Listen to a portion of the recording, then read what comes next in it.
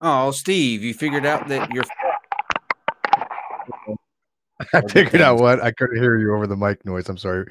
I figured out what. I said, "Oh, you figured out that your fly was open." Oh well, all good oh, things. Oh, is it? it? Oh, I didn't know I was wearing pants today. So good to know. I put out that we were trying to fix this whole awkward opener. You know, the the whole Yeah, I read we that. open up We didn't show without really any kind of tagline or any kind of slogan that would stick. So um, I put out on Twitter uh, for people to send suggestions and ideas of you know things that we could open up the show with, and the most liked one would win, and that was the most liked one. Um, your flies open. So Yeah. I don't know. I don't know how to read into that, but that's what it is. How are you doing, Steve? I, I wouldn't know where to go with that either because, like I said, half the time I'm not wearing pants for this. So How are you doing, Steve? no, just kidding. I am wearing. Look at I. Oh, I can't stress my legs that much. You're gonna have to just take my word for it. I am wearing pants today. Excellent. Excellent. I can't right. speak Uh, joining, us, joining us today, we'll say hello to these two uh, gentlemen real quick. Uh, Dr. Bowen, how, how are you, sir? Doing well. How are you? I'm good. I'm good. Excellent. I'm excellent. Fabulous. Hope you are. Um, and uh, joining the show for the first time, Mischa Popoff. Hello, sir. Welcome to the show. Hello, everyone. Excellent. Um, just like we'll, we'll get a couple things out of the way, and then we'll uh, jump into uh, what we're going to be talking about tonight. I just have a couple of things. Uh, Wednesday, on the twenty first, that's this Wednesday. Miles Powers will be with us. Uh, he will be he would be coming to talk about the protocol with Jilly Juice. He actually tried the cabbage concoction. Um, yeah, braver man than braver man than I. But I can't wait to hear how that um, how that went. Uh, Black Friday is this Friday. Um, do you guys go out shopping for Black Friday? No. No, I, you just have I to take your it. life in your hands when you do that. Last time, Yeah. But you got to remember, I, I, crazy did, here. I did retail. For, I did retail for 20 years. So do you know how many Black Fridays I've had to do? Um, why would I want to go shopping on Black Friday? I can actually sleep. You Dr. do Bowen, it you all on internet. Uh, no, no, I, I definitely don't. I, I don't like shopping that much. and. Mischa, you don't you don't go out? No, my, my wife goes online. I wonder why would anyone line up at the store when most of the stuff, most of the Black Friday stuff is available online now. And yet there's this mad rush. It's just crazy. I'll tell you why. Because I'm one of those people. I am I am in line every year at one of these places, and it's the thrill of the uh, the hunt. You want to be. I love getting in the middle of it and going after and getting those those deals. I got a TV last year. I think it was a I think it was a 50 inch, but um, it was 199, and there was like three of them left. And I remember, I remember doing kind of like a shimmy, like a, a just a, a stiff arm or a fake out to get that last ticket. And I felt bad for a second, like a split second, but it quickly went away when I got home and put the TV up and, and watched it. It all the uh, all the guilt left me. So um, Oh, yeah, it's fair game. yeah, I agree. Although it's it's funny. Every year I every year we do this, I see at least one example of uh, two fathers that are in the like the kids stuff is really really really brutal. Like the, the competition to go out and get like the play sets or whatever that they have going out, and every year there's at least two dads that are having like a a, a full blown out wrestling match over who's going to get that last one. Um, so I, I'm glad that for that I don't have kids because that would be me. I'd probably be in all kind of I'd, I'd be locked up on Black Friday. Let's be real. But I can't wait for this year because um, I'm going after an Apple Watch. That's this year's uh, checklist thing. Even though I don't really need it, I just want one. So, um, why did I bring up Black Friday? Oh yeah, Black Friday. Uh, for here though, Black Friday we will we will be joined by uh, what's his name, Doctor Bowen. And Uh, Angelus Domini. yes, can you, can you kind of explain real quick who who that is? Yeah, uh, I can try. Um, so uh, there's a. Can we call it a cult? Is that what we should call it? There's a movement. I'm okay with uh, that. yeah, um, called the Congregation International Congregation of Lord Rael, and uh, Rael is uh, proclaims himself to be the Messiah, and of course I don't agree. Uh, but um, he has uh, quite a movement, I guess, relatively speaking, on Facebook and on something called VK. And I've interacted with them a little bit, and we did a show on them a month ago, maybe. And uh, I guess I guess they didn't like it, which is great. Um, and he has is offered to come on and answer questions, I suppose, that we put to them. Um, but Angelus Domini, the angel of our Lord, is uh, he's he's the emissary of Rael, and uh, he he does the public a lot of the public speaking for him, and um, so yeah, I mean, I'm I'm excited. Excellent. I am too. We could I can't wait. One Messiah to another, I guess. Um, I just want to say real quick, uh, David McGinnis, I love you, man, but um, even I can't stomach anyone insulting the Great Apple. Um, so take these take these couple of seconds and just think about think about the what you said, and you know, hopefully you you'll come back and come around. You know what I mean? Five Um, minutes to, to, of penance for your for your breach of, of, of your heretical things there, there, David. And by the way, Oh. you're you're you're a messiah, but I am officially the Pope of agnosticism, so maybe I could be somebody's vicar for that. So No, Well, I nobody's mean, gonna. No, You know, I don't know if it means anything, somebody. Steve, but I mean, you know, I, I went back and checked just to make sure, and uh, you know, in the Torah code, I, yeah, you're you're Yahweh, so yeah, Yeah. so I, I'm Uh, so wait a minute. So I'm Yah I'm I'm Yahweh and I'm the Pope of agnosticism. I think there's a problem there. I think there's some kind of contradiction, but I'll I'll work on that one. oh, anyways, um, okay. Very existential Uh, problems here. For uh, just two more things to get through, and then we're going to jump into the uh, discussion. You, you know, I love you, David McInnes. I actually, when I timed you out, I thought I could. It would give me a choice. I didn't know it would go for 300 seconds, so um, it's a little bit longer than you need to uh, to think about what's going on. Oh. But uh, really. uh, it was it was a joke. Um, but uh, but yeah, uh, on Saturday, uh, Saturday night fights, we will be having another another round. This one's going to be extremely interesting because um, we have a guy that owns the website nasalize.org. Um, it's Brother Ernest. He believes that um, there's not really much he doesn't believe, but um, he will be having a conversation with Reds this Saturday. So Reds and, and Brother Ernest will be on uh, this Saturday's Saturday night fight. So um, look for that. And he's uh, Brother Ernest is debuting a new shirt. He's doing. He wanted me to let everybody know that he's got a new shirt design coming out. So you'll get to see it um, Saturday. Okay, and then last but not least, on Sunday the twenty fifth, we have the Golden Nuns, which is the choice for video of the year, creator of the year, um, animation of the year, all of that stuff on Sunday night. That will be at 9 p.m. So come and see who wins, who you guys decided. Uh, Digital Hammurabi is up for uh, two things in that category, and um, they're doing extremely well. Yeah, so you might want to uh, might want to stay tuned on Sunday. Um, and I know you're you're you're you, last time I checked, you were killing it in the uh, best uh, non sequitur best educator uh, category. So if that trend Awesome. continues, uh, well, uh, nice. Jake 3D says, um, F yes, nonset, give me proof.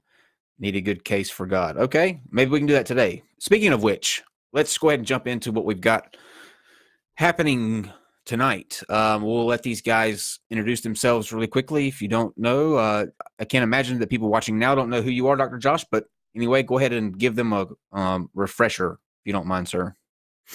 Sure. Uh, thank you. I appreciate you guys having me on again. Uh, I'm Dr. Joshua Bowen from Digital Hammurabi, and my wife Megan and I, who is out in the living room, uh, we run the channel Digital Hammurabi on YouTube. We have Twitter and yeah, other stuff. But uh, we uh, work in the ancient Near East, ancient Mesopotamia. Um, I have a strong background in the Old Testament and Hebrew.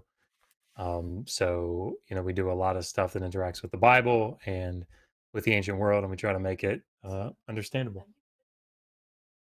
Cool. No? And um, Mischa Popoff, Sorry, Megan just How about letting everybody know- clicking something. was that? I guess they can hear clicking. Oh, not. I don't hear anything. Okay. Steve, do you hear clicking? Sorry. like a pen. Somebody said something like a pen. I don't have a pen, so it's not, I'm not clicking a pen. Hands up. Hands up. Okay, uh, Mr. Popoff, why don't you introduce yourself, sir, Yeah. and um, let everybody know how you found your way to non sequitur. Yeah, well, uh, um, I'm a, a, a writer. Uh, I grew up on a organic grain farm in Saskatchewan. That's due north of Texas, 40 hours north. I, I now live down in Texas with my wife and three kids. And yeah, I do writing and public speaking. I have a, a bachelor's degree in the history of science from from way up there. And uh, yeah, I, I uh, I've reached my first half century on this planet. I'm now 51, and I've always been interested in the Bible, but, but became much more interested. Um, and and to my surprise, uh, Texas Texas really isn't the the, the, the panacea for, for biblical study I thought it was, but that that's beside the point. And and none, nonetheless, I, I started writing more about the Bible. I used to write about agriculture. I, even though I'm from Canada, I was a USDA organic farm inspector for five years. Um, and that that sort of got my feet planted on the ground here in America, and then uh, eventually moved down here to Texas. And uh, to make a long story short, uh, uh, came across this uh, this uh, these issues in the Bible in regards to salt, and salt being a very important substance uh, back then and to this day. And um, so, yeah, I, I wrote an article, and I've been seeing if Christian uh, sites were interested in it, and uh, some are. I've had some good interviews, and I thought I'd, I'd broaden out a bit because, um, as I suggested to you guys before we went on air here, um, this is of interest to, to I, I, think will be of interest to anyone, whether they're Christian or not, whether they believe the Bible has any credence as a historical document or not, because we all agree, well, it was written, you know, 1900 years ago or thereabouts. Uh, we're talking about the New Testament. So, so the, right there, uh, if, if, something is discovered, you, you now have to place it within that historical context. You, you can't say, well, that, that's a later discovery or something, as we'll see. Mm-hmm. I'll, I'll, get into the details when, when you're ready. But that's that's what brought me to, to you guys. Hopefully, some some healthy skepticism will rub off on me and, and maybe a bit on you. We'll see. And and that's why we brought um, we brought Dr. Bowen here because he he's actually a um, a biblical scholar and can you know, and you know, better better I think answer any any questions you might have in terms of you know things that deal with with what you're going to put forth or you know he, he's able to kind of suss those out a little bit better than um than we are because he's that's what he does. He's a um he's a biblical scholar. So i think it, it would be a really it's a really good kind of combo to have both of you here to uh to speak to that. Just curious though how did you find us uh, simple searching, watching videos, and saying, "Wow, looks like those guys might be uh, a good place to try this out." And and frankly, uh, sort of that that approach. Uh, I guess you're maybe familiar with the Hegelian philosophy that Karl Marx picked up on. It's, it's the only, it's the one thing Karl Marx got right, and that you know, thesis versus antithesis yields a synthesis. And of course, he mucked it all up, and and you know, ended up bunch of people have been murdered over the decades because of that. But but but that principle stands. I mean, I could spend all day talking to fellow Christians, and it's going to be great talking to the the fellow Christian you have on here as a guest. Um, certainly, but um, to get that thesis versus antithesis, to actually seek that out, I think that's something, frankly, people avoid these days. I mean, you're gonna you were talking mm. earlier, you're gonna get this guy who thinks he's an angel of God well, great. If he's willing to come on this show, that, that's better than him going on any uh, any any like-minded network where they're just going to sort of pat him on the head and say, "Yeah, good for you." Um, so I, yeah, I think I think politicians and academics have all abandoned that that that, that concept, that thesis versus antithesis.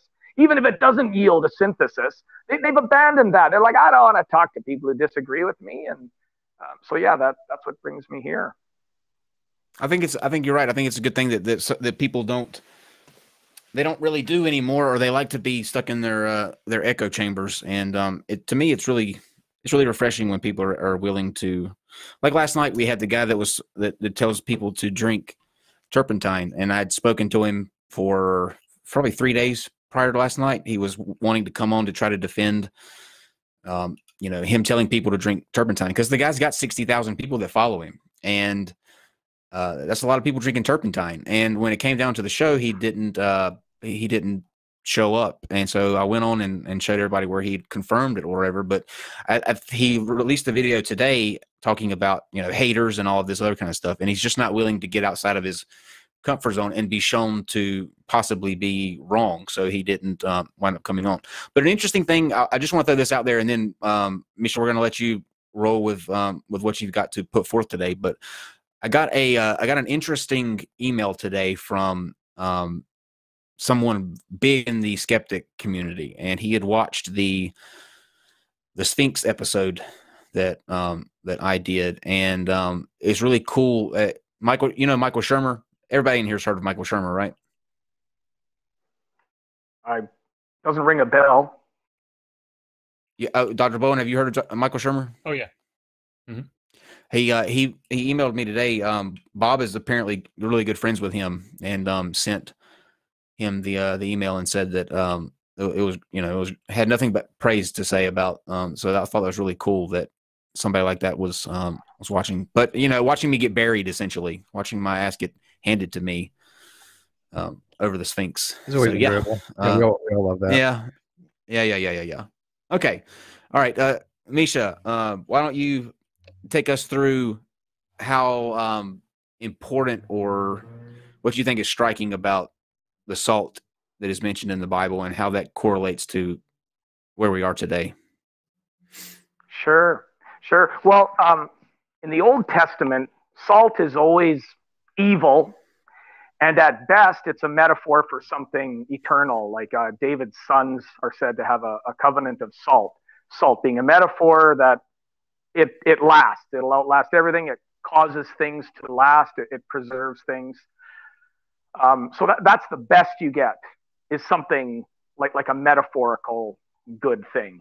Um, and other than that, it's neutral. There's reference to the salt sea. But most importantly, in, in the Old Testament, salt is evil. So you have Lot's wife turning into a pillar of salt. You have in, in uh, I think it's in the, the books of Judges, you have King Abimelech salting fields and you don't even have to you, you can look outside the bible to see references to salting fields. That's something you do when you uh, if, if you're not going to occupy the land you've conquered yourself you salt the fields to make them useless to your enemies so that when they return they, they, they nothing will grow.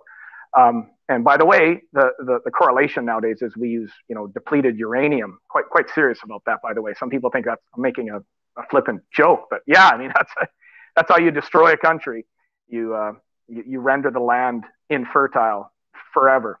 Um, so that's salt in the Old Testament. Um, it, it, does rise above evil and, and, becomes, as I say, maybe maybe something neutral and maybe even a, a reference, a, a metaphor to something something good. But even in the reference of the covenant of salt that King David's sons supposedly had or did have with the Lord, um, the, the, the salt as a metaphor isn't like this fantastic thing, right? It's uh, no one says King David or his sons are like salt, right? It's just the covenant they have with God is a, is a covenant of salt, meaning that it lasts forever. Well, in the New Testament, there, there's a shift, and of course, it comes through the mouth of, of Jesus Christ. In that, he actually says, You are the salt of the earth. And now, now David was never salt. The, the covenant he had with God was supposedly salt. Um, but now there's Jesus on his, in his Sermon on the Mount, and everyone refers to Matthew 5:13 for this, if anyone wants to follow along. But we're going to quickly depart from that, um, and and that's sort of it. It's you are the salt of the earth, and we should be as Christians uh, following Christ. We should be salt and light to the world. And if you just read Matthew and, and also Mark, that's as far as it goes. So you'll see uh, bumper stickers and, and, T-shirts, and it's in all sorts of sermons um, that telling us to be salt and light because we are the salt of the earth. Um, now, being the salt of the earth, people just think, well, that's that's salt. That's common salt or table salt or sodium chloride. Um, and and again, the, the metaphor being, well, it lasts, it preserves things that last forever. but we're going to turn to Luke now. And in Luke, in his coverage of Jesus' Sermon on the Mount, and by the way, John doesn't even cover the Sermon on the Mount, but, but he gets he does cover this metaphor that we're about to get into. In Luke, he goes further. He says, ah, ye are the salt of the earth. And if salt loses its savor, then it's good for nothing. So far, we have a sort of a parallel coverage in Luke that we saw in, in the most famous coverage of the Sermon on the Mount, being Matthew. Uh, but then Luke goes a step further and he says, For when the salt has lost its savor, it's no longer good for the land or the dunghill. Well, when would salt be good for the land? Never. So, what is he referring to? And we'll just jump right into it with both feet. He's not referring to sodium chloride, he's referring to potassium nitrate, which was referred to uh, since time immemorial as saltpeter, or commonly just salt. Now, um, in Hebrew and Greek, they only had one term, which was salt for all of these substances, even sodium bicarbonate which uh, is a white powdery substance that comes out of the Nile, that was referred to as a salt for centuries. And, and some of the etymology is, is lost, but, but it looks like going back to the Hebrew, uh, to my limited knowledge, perhaps your other guest will shed some more light on this. There, there was just one term, and it covered salt, common salt, saltpeter, which we knew existed back then, which was commonly confused with niter, which was the name they gave to sodium bicarbonate, which is just uh, baking soda, basically, that comes out of the Nile. They got the name niter from the Nile, Ni being the first two letters. Um, and uh, turns out saltpeter doesn't come out of the Nile. And yet we went ahead and today we now refer to saltpeter. It, it, it's, it's a form of nitrogen, as I said, potassium nitrate. And now, of course, the most common form of, uh, of nitrogen that, that, we use is ammonium nitrate. Um, but all throughout, whether we're in biblical times or in uh, medieval times or in the Renaissance or right up to the present, this substance, which isn't a salt, even though it's referred to as a salt, it has two uses. Uh, one, it's the key ingredient in fertilizer.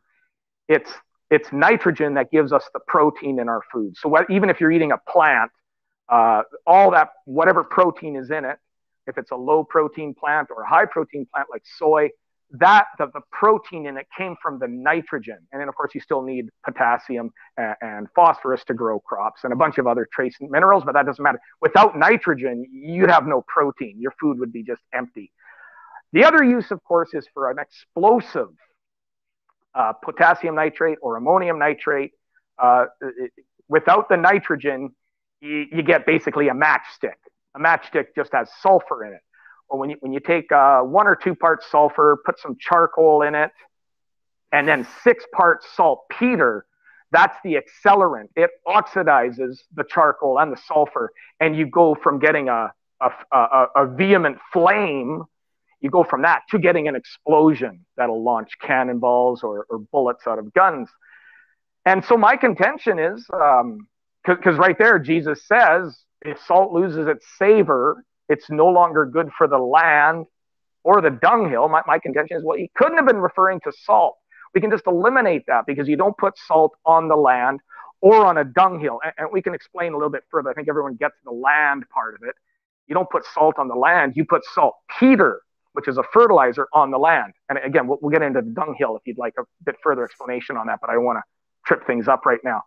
Um, so, so he's referring to saltpeter, and it fits because he says when salt loses its savor, it's no longer good. Well, salt doesn't lose its flavor. In fact, going all through the Old Testament, as we just said, that was the only metaphor that wasn't evil when salt is referenced in the in the Old Testament, it's as a permanent thing, like the covenant, uh, uh, uh, God's covenant with with David and his descendants. Um, so this is a different type of salt. It's a salt that loses its flavor or savor, as it says in the King James. And guess what? Saltpeter, whether it's potassium nitrate or ammonium nitrate, it does lose its flavor. And by the way, it's not a flavor you want to try. It'll it'll poison you. Uh, although it does appear in some foods, but it's in a, a different form. Still bad, as you know, nitrites can cause cancer, so so don't mess with them. no one should try tasting it. But they used to taste these things, and and and all they knew was that it wasn't sweet, so they classified it as a salt. In any case, this is a, a salt, not really a salt, that does lose its flavor. Because what happens, where does all the nitrogen go? After it goes through the food cycle, through all the digestive systems of cows and sheep and chickens and humans, all the nitrogen, first it, it goes through the waterways, but all of it returns to the Earth's atmosphere. Sooner or later, it all returns and the Earth's atmosphere, as probably a lot of you know, is 70% nitrogen. Turns out things like oxygen are really just small trace ingredients along with carbon dioxide. In any case, there you go. The Earth's atmosphere is 70% full of fertilizer and an explosive ingredient.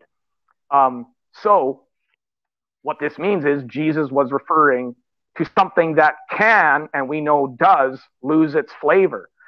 So that's the second piece of the first piece is you wouldn't put salt on the land or in a dunghill. Second piece is salt never loses its flavor. And if you were anyone reading their Bible would know that, but you'd also know that just from life experience. The third piece of the puzzle is um, all of them, even John, who doesn't really cover the Sermon on the Mount, they all refer to salt and light. So being the salt of the earth is one thing, but to be salt and light how do you get that from common salt? Well, you don't. And that's why most people have just always assumed it was some kind of loose metaphor that Jesus was making and that uh, he meant two different things. He meant salt, common salt, and light. How they're related, they're not. That people just assumed, well, as I say, it was some sort of loose metaphor. Well, if it's saltpeter, then it's one metaphor. It's a type of salt, what they referred to back then, and all up till the Renaissance, what they referred to as a species or a type of salt. And it does give light. It burns with vehemence, as early natural philosophers said. And it doesn't actually burn on its own. You, you need the sulfur and the charcoal there, but it, it's the oxidizing and it, and it provides oxygen to, an ex, to, to a flame to the point where it, it'll become an explosion. So all of those three pieces fit and it fits with all four gospel accounts. As I say, even John, who didn't cover it, ends up using this metaphor of salt and light. So I think the Bible has more than one meaning. I think you can still use salt to convey some sort of spiritual meaning to guide people in their lives. But uh, uh I'm embarrassed to say it took me uh, you know, about 30 years to figure this out. I was in a Bible study 30 years ago in Saskatoon, Saskatchewan, where, where I was first discussing this with a, a, a great uh, uh, pastor up there. And I just went away wondering, shaking, what did Jesus mean when he said, if salt loses its flavor? And yeah, well, when I turned 50, I, I, I think I finally figured it out. He, he wasn't referring to common salt, he was referring to saltpeter, the most important fertilizer and the key ingredient in uh, gunpowder. Uh, what is the um, what is the significance of that? Like, what is what does that mean that you when you say that you found the um, what Jesus was was referring to when he said salt of the earth? Like, what what are the because he's not talking about you know table salt or and he's talking about saltpeter. What does that mean for everyone now? Like that, what, what's that? What are the implications of that? Well, um, first of all, the metaphor now ties together. As I say, it's it's it's one metaphor. You're not supposed to mix metaphors, right? So it's not two. He's not making two metaphors. It's one. And of all people, again, even people who don't think Jesus is the Son of God, I mean, we're, we're going to admit the Muslims admit he was a great prophet. He was a brilliant man. The accounts of him teaching the teaching the, the priests back in the temple when he was nine years old. I mean, this this guy knew his stuff. So he wouldn't mess things up. It would be us and perhaps his disciples who might mix things up a bit. So that's the first thing. It, it ties together the metaphor. Um, the second thing is if, if, uh, if we believe Jesus knew the beginning from the end, that this really comes home to roost for, for Christians. Um, then, then he knew it was not only an important fertilizer that's good for the land and the dunghill. And again, we, we can explain the dunghill further if you'd like but the land that, that he knows this is this is the salt that's good for the land. That's not that other salt that King Abimelech put on the land of his enemies. So that's the first thing. Um, then then the second thing is since he knew the beginning from the end, he also knew the other use that saltpeter would have. And in fact, I argue um, in some upcoming articles that are a follow up to this one.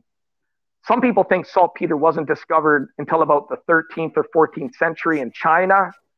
But I've, I've found research, uh, Muslim scholars and Chinese scholars that say, no, no, no, we're looking at the fourth century BC for the first known instances of a saltpeter like substance being used. Being used mainly in warfare, by the way, because uh, again, even though Jesus knew this was the most important fertilizer, most farmers didn't know. Uh, even even to this present day, a lot of farmers don't know what they're doing; they're just doing it. So if you had a compost pile and you were composting manure, uh, all you knew was that it worked. You didn't know that you were capturing this substance from the Earth's atmosphere through plants and feces, which would then compost into a usable nitrate that would uh, be used on the land. In any case, so the, the upshot is Jesus knew this was a fertilizer, not a salt. And I say he also knew, as I think other ancients did at the time, that this was a, a weapon as well. Now, Jesus isn't going to have us go out and conquer anyone. So the obvious conclusion, again, even if even if you don't think he's the son of God, the obvious conclusion for, for consistency with, within the words of Jesus is that he, he's talking about self-defense. He's talking about, mm. not about attacking anyone. He's talking about self-defense, and and that's certainly something that has has come to pass.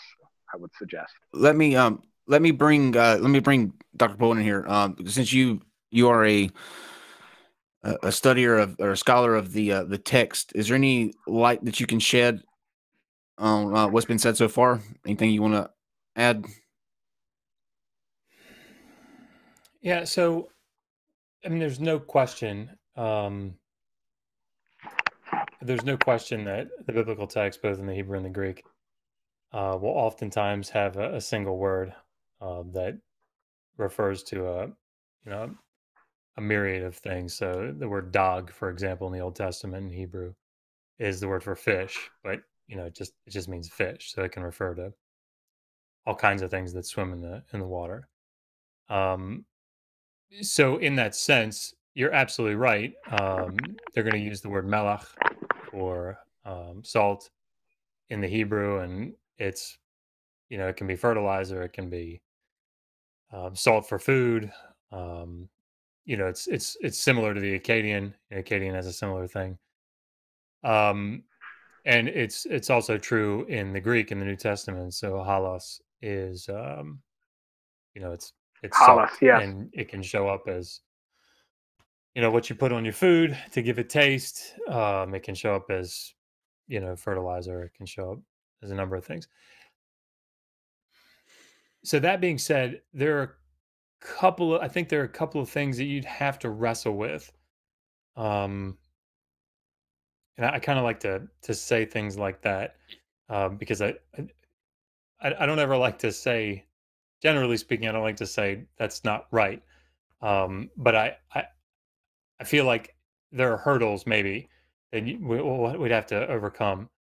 Um, so a, a, couple of things.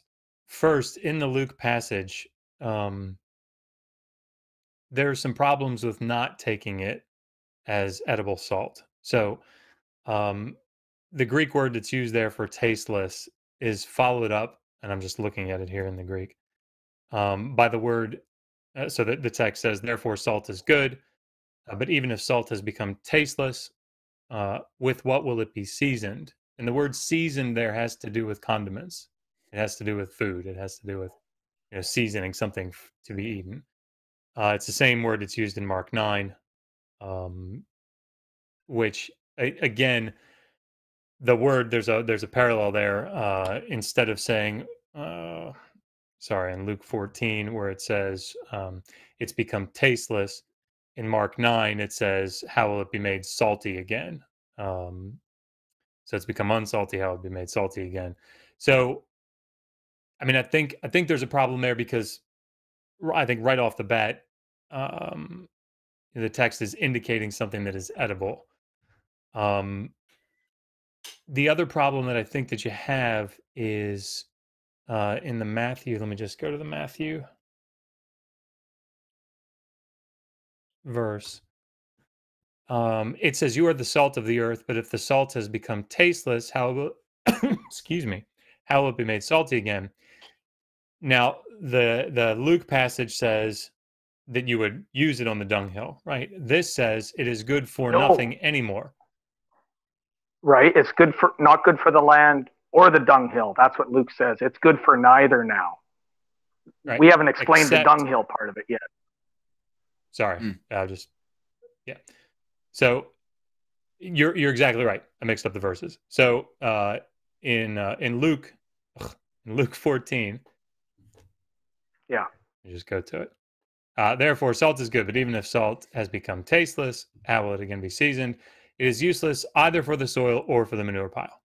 So, Right. in Matthew, sorry, and I've just just so that everybody knows, I've just looked at this like today. Sorry, so forgive me for not being an expert on this.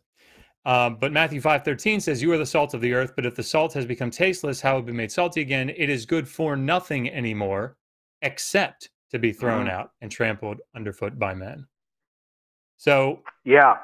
I guess, I guess part of the issue that that I there, there are a couple things. Um, one, we have very clear instances. Um, the Book of Job uh, shows salt being used um, as a, as something to make something salty. We have Sumerian proverbs uh, that talk about salt being used. Uh, when, uh, how does the proverb go? Um, when you have bread, you don't have salt. When you have salt, you don't have bread. Um, I can't remember it exactly, but I think that's what it is. Uh, so salt is used in the ancient world in this way, right? And I think you would agree with me on that. Um, if we have then uh, something here in Luke 14 that says uh, a, a Greek word that's clearly talking about a condiment and something that's meant to um, make something salty as a condiment, I think it's difficult. Um, I think it's difficult to es- escape that rendering there. Now, Mhm. Yeah. Let's uh, sorry, take no. that. Those three things you've thrown out. Those, those are really good points. But um, as for seasoning, I, I don't mean to interrupt, but I just want to say that that gets us into the dunghill because to this day, organic farmers season their compost. That it is called seasoning, and this is this goes back to time immemorial. The other term you might use, and it was not a term that existed at the time, is inoculate. So you inoculate a dung pile the same way you inoculate a patch of sourdough, a, a batch, sorry, of sourdough or a batch of yogurt. You take some of the previous batch, a little bit, and put it into the new one to ensure the prop, proper bacterial growth. And so that gets us, as I said, I, I said a couple times we get into the, everyone gets the land part of it, but the part of the dunghill is a little bit harder to understand unless you, you, you do proper composting you don't just throw your compost out uh, and let it just rot. It can rot the wrong way. So, as I say, to this day, organic farmers will inoculate, but the other term used was seasoned because you are seasoning it.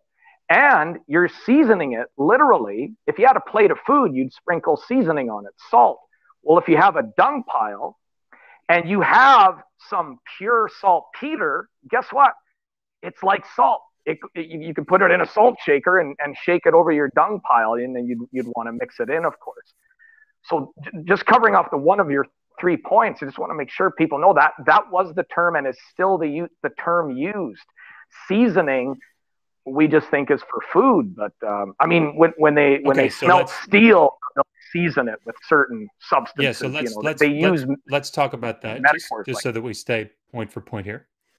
Um, so can Yeah. you find me an example in an ancient text where it uses this Greek word to show covering a dung pile? And I'm not saying that you can't.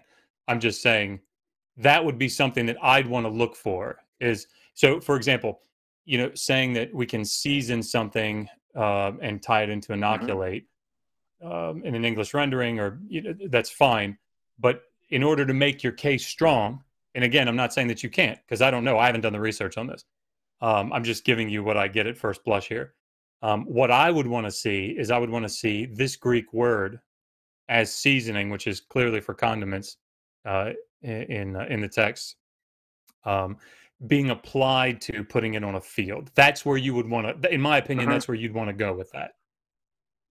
Well, it's not where I want to go. It's where Jesus wants to go. I mean, why would he say when the salt loses its flavor, it's no longer good for the land or the dunghill? So he's the one saying, if it still has its flavor, it is good for the land and is good for the dunghill. And, and I would rest on that and that alone. I'm, I, I have done some etymological research. That's why I knew the, the two terms you, you used. The one I remember right now is halal uh, for, for the Greek and that's the only term they had for salt. For there, there's actually four varieties of salt we know of in the Bible: uh, common salt, then the salt for cleansing, which is a lot of people think is uh, uh, the sodium uh, sodium bicarbonate, which when you mix it with vinegar effervesces, and that would clean garments. Um, and then saltpeter. The other one, of course, is borax, and, and that was known since ancient times too. That's now a brand name, but borax is the name of a type of salt. Um, so those are the four types we know existed in the Bible, and they were just all referred to as whether it's Greek or, or the Hebrew. In the Greek, it's it's halal. That's the only term they had. But but to answer your question, yeah, for looking for other examples, well, don't ask me. Ask Jesus or Luke. Well, I mean, I think you. what then did he the thing. I think you'd have to have. Sorry, I think you'd have to have an example. See, what if if you have a contentious passage like this, um, and you have other Greek texts from the first century, for example, that use this Greek word with respect to condiments going on to food, which is what we have. Um, you can't if, if so that that would lead there uh, leave there a natural reading of this Greek word, right, to season something, as far as food is concerned.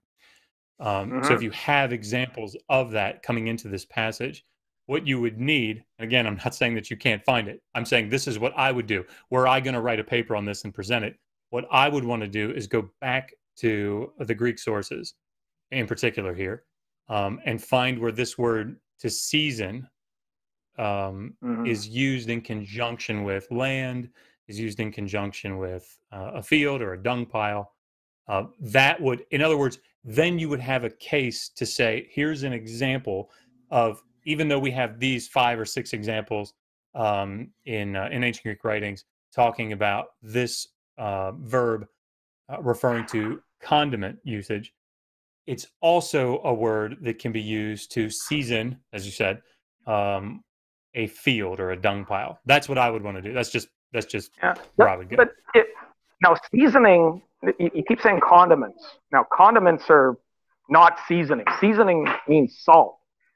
And by the way, I, I learned that watching uh, Gordon Ramsay. I mean, he'll he'll talk about spices and sauces, but seasoning is salt. And I don't, don't pretend to have a lot of depth on that. I admit that I learned that on the Food Channel, and uh, that's what seasoning is. It is salt. And so, if we agree that the the four types of salt were referred to as salt, then we don't have to go and find instances of the term seasoning being used. That is the term they would use if, if that was the, the common uh, way to refer to all these salts is just salt, then I guess they'd think they were seasoning a dung pile.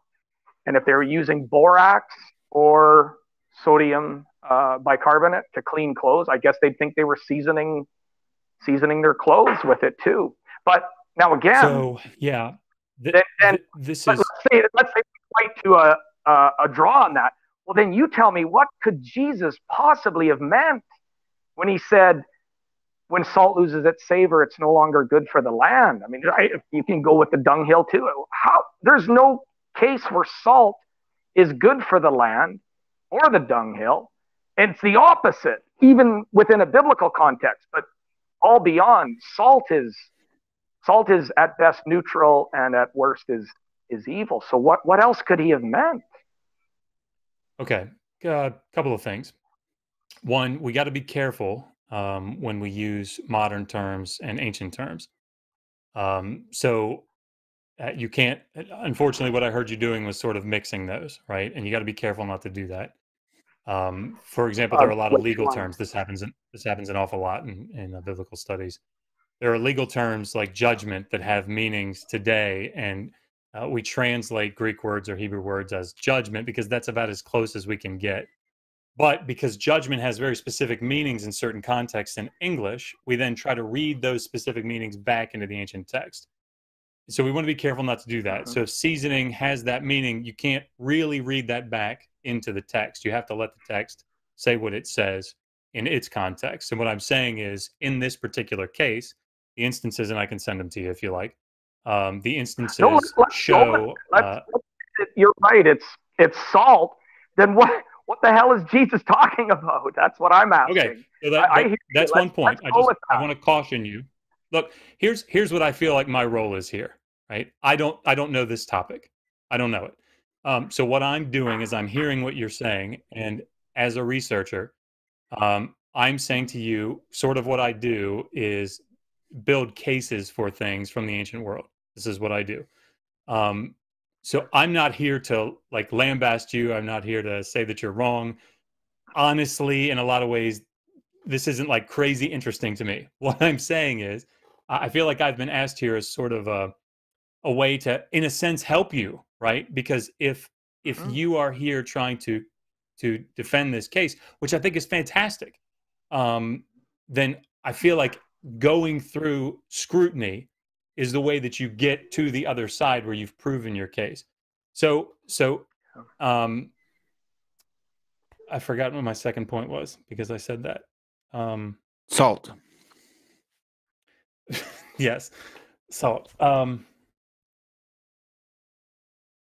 It's like, nope, I don't remember. that's like why you think about it. I just have a, I have, I'm, I'm still, str- uh, me personally, I'm still struggling to understand what the, um, and, I- and I, and I, I don't mean this, I don't mean this derogatory in any, in any way, shape, or form. This is just as me, somebody listening to the case. But it, it, so what is? How would you answer that question? Like, so what if Jesus was talking about some other different salt? What does that?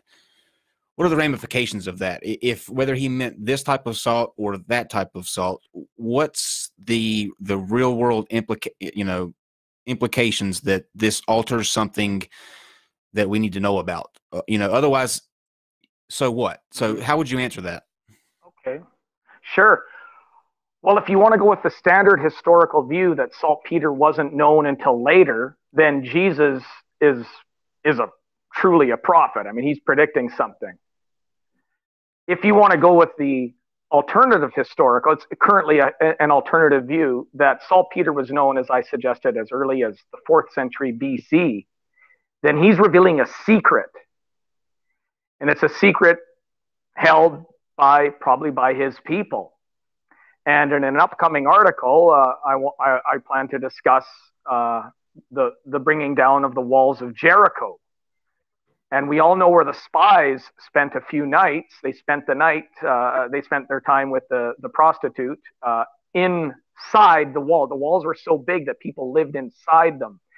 And if anyone knows what a sapper, is, uh, we still use sappers in the military today uh, sappers would undermine walls, or in World War One, they would dig a trench under the enemy's lines and, and pack explosives in there and detonate them, uh, and and uh, that's that's sort of an underground uh, military warfare. And yeah, I, I I'm a Christian. I do not believe for a minute that sounding the trumpet on the seventh day brought the walls down. I'm sorry, I've had some arguments with uh, fellow Christians whom I, I love dearly.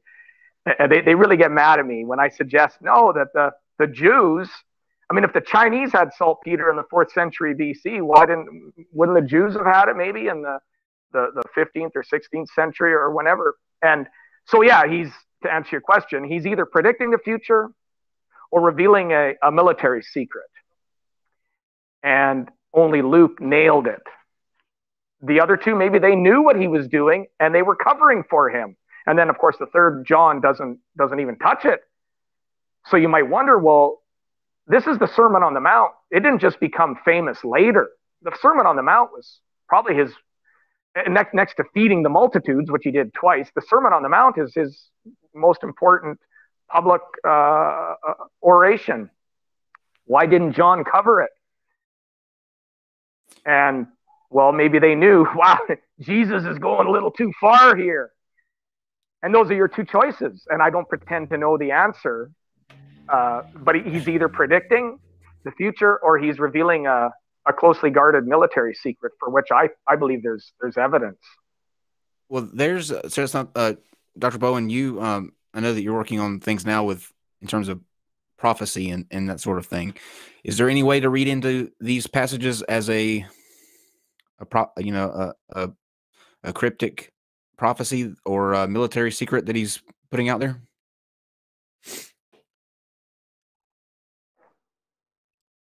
Okay, um, I would say a couple of things about prophecy in in both the Old and New Testaments is that they're not terribly shy about it. Um, so, for example, when you read through the book of Daniel, uh, particularly get into chapter seven, um, they're just very, very specific, right? Um, this kingdom, this kingdom. Now, it's true that in apocalyptic literature, sometimes they'll just use um, kind of crazy beasts like in Daniel. Um, but let's go to a very specific prophecy. Uh, and actually, I'll be, I'll be talking about this tomorrow night. So it's fresh in my mind. Um, something like Ezekiel 26, right? Ezekiel 26, where um, Ezekiel predicts uh, or prophesies about the fall of Tyre. Right? It's very specific. Um, it names the agent that the Lord will use, Nebuchadnezzar. Uh, it talks about um, the specific actions that he'll take the order that it's going to go in, and the ultimate uh, demise of the city. It's going to be scraped clean. The waters are going to come up over it.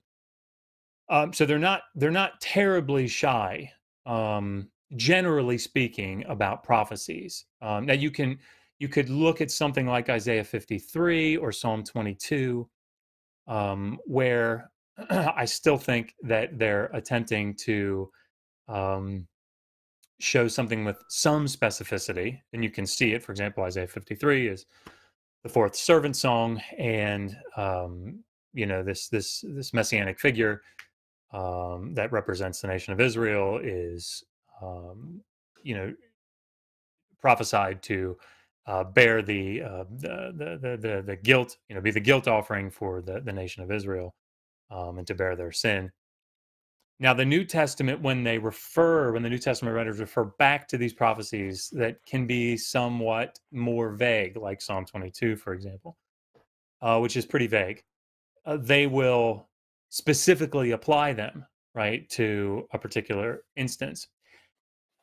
What I don't see an awful, I guess, what I would want to do, having said all that, again, if I were if I were writing a paper defending this, what I would want to do is show other examples of ideally Jesus, um, but any of the New Testament authors giving what are clearly prophecies that really um, have no specific prophetic content.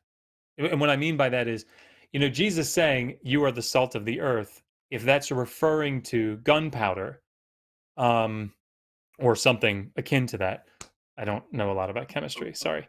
Well, um, pro- protein. It's referring to protein because without nitrogen or explodes. nitrate, yeah. Well, no. Then okay, it's so also it's... the key ingredient.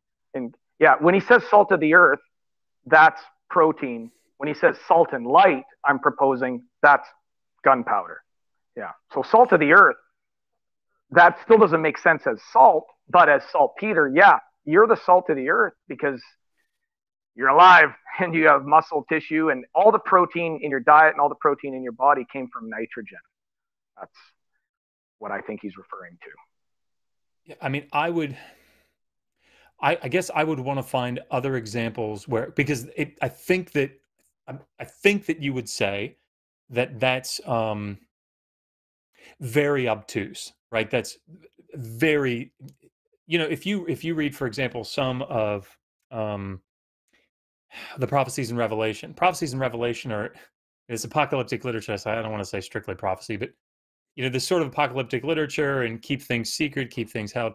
They're very bizarre in some cases, right? But um, you know, they're intending to put forth meaning, and I think it's clear to the reader that even though this symbolism is very strange at times, something that has you know seven eyes and seven horns or something, um, it's clearly intending something specific. Uh, whereas I would say that, and so so then when I if you come to something like Luke 14 or Matthew 5, uh, and you're trying to make that argument, what I would want to see as a as a, as a, a critical reader, what I would want to see is um, a parallel, something that's parallel that is clear, right? Well, We can definitely say that even though this is spoken very mysteriously and you wouldn't pick up on it in any way naturally, um, we clearly see that he's intending something. Authorial intent is very, very difficult to get at. It's very difficult to get at. Um, and so I, I think that's what I'd want to see.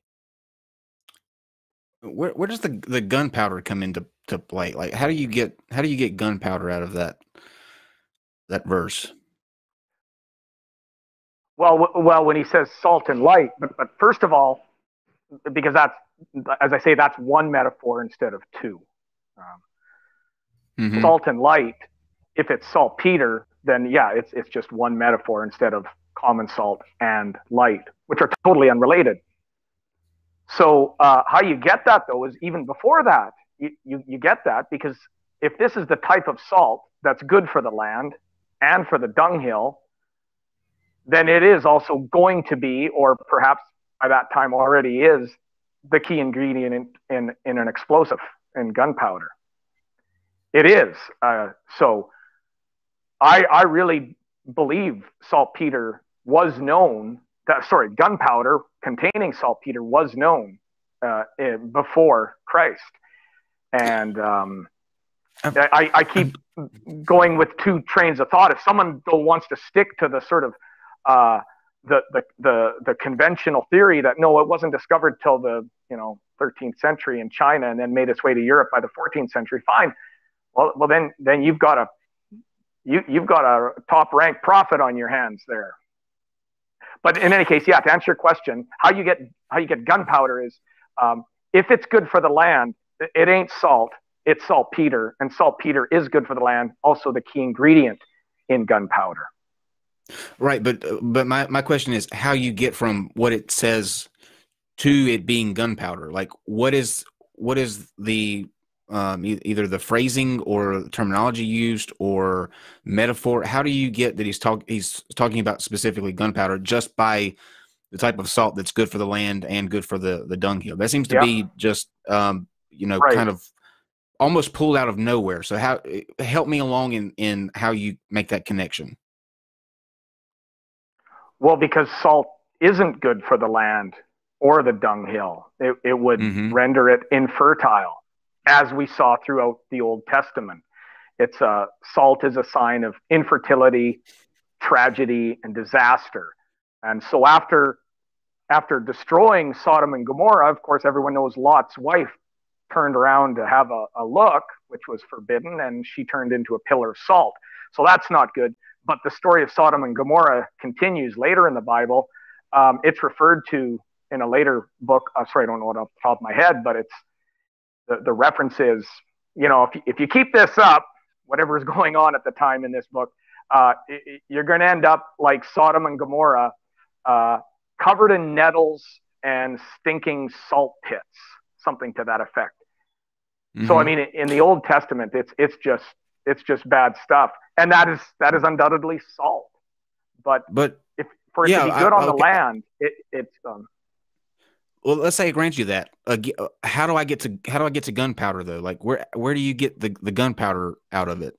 Like what what's making you think that that's what he's referring to? With just with what with what you just said, none of that equals gunpowder to me. Like I don't see how you're pulling gunpowder out of that, and, I, and I'm trying to follow that line of thinking. well, I keep sticking with the first part because it's more important. If it's if it's not salt, then it has to be a different type of salt, which would have been saltpeter, which is the key ingredient in gunpowder. Otherwise, as I said, you, you just have a match. Like um, a match head is just basically sulfur. It'll ignite and light, but it won't explode. And so Sure. nit- nitrogen, nitrate is the now. That, but then the next phrase, if you want to leap to it, is where Jesus says, and all four of them get this. All four of the gospel writers get this. They say to be salt and light. And that, if that is two substances, then it's a mixed metaphor, as I said. Although I'm not gonna, I'm not gonna critique Jesus' grammar, but it it So just fits like a glove that it's one metaphor. Salt and light. Now, now, now by the way, saltpeter on its own is is in, inflammable. It, it, sorry, it's not flammable. Um, you need you need salt. You need the sulfur and the charcoal, and then the saltpeter is the accelerant. It's kind of like putting yeast in dough. Like you'll still have dough without yeast. You just won't rise. So, well, that's what saltpeter does. It's the it's the oxidizer that that accelerates the the, the, the chain reaction.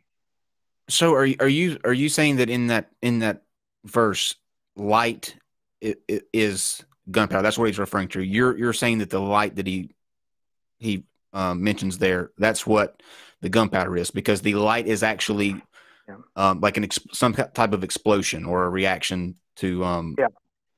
okay literal light. That he's not that it turns out he's not being metaphorical with either. That, that's saying be salt and light. Um, he, he, he literally means to fill yourself with protein, grow crops, feed your kids, and carry on. Uh, you're, you're not going to be of any use to anyone if you starve to death. You're not certainly not going to spread the good news. But then to be uh, salt and light, that perhaps you would defend yourself uh, with with the uh, the chemical formulation that you keep referring to, gun, gunpowder. Yeah, that you would so, you would um, use that Okay, before we, uh, I'm gonna, I'm go to Steve here in just a second for the uh, the chemistry aspect of it. But uh, Dr. Bowen, when is there anything that you take away from that verse when they mention light that um, is is different, or how you read into that? Yeah, well, I mean, again, I, I know I, I kind of keep going back to in order to prove the case because um, it's I, I feel like that's useful to to do. Um, so the verse uh five is it five fourteen? 13 514 513 um, in matthew yeah. And in luke it's uh, sorry verse 14 i believe. Uh, 14 yeah yeah chapter four you, you, sorry chapter um, 14 but in yeah.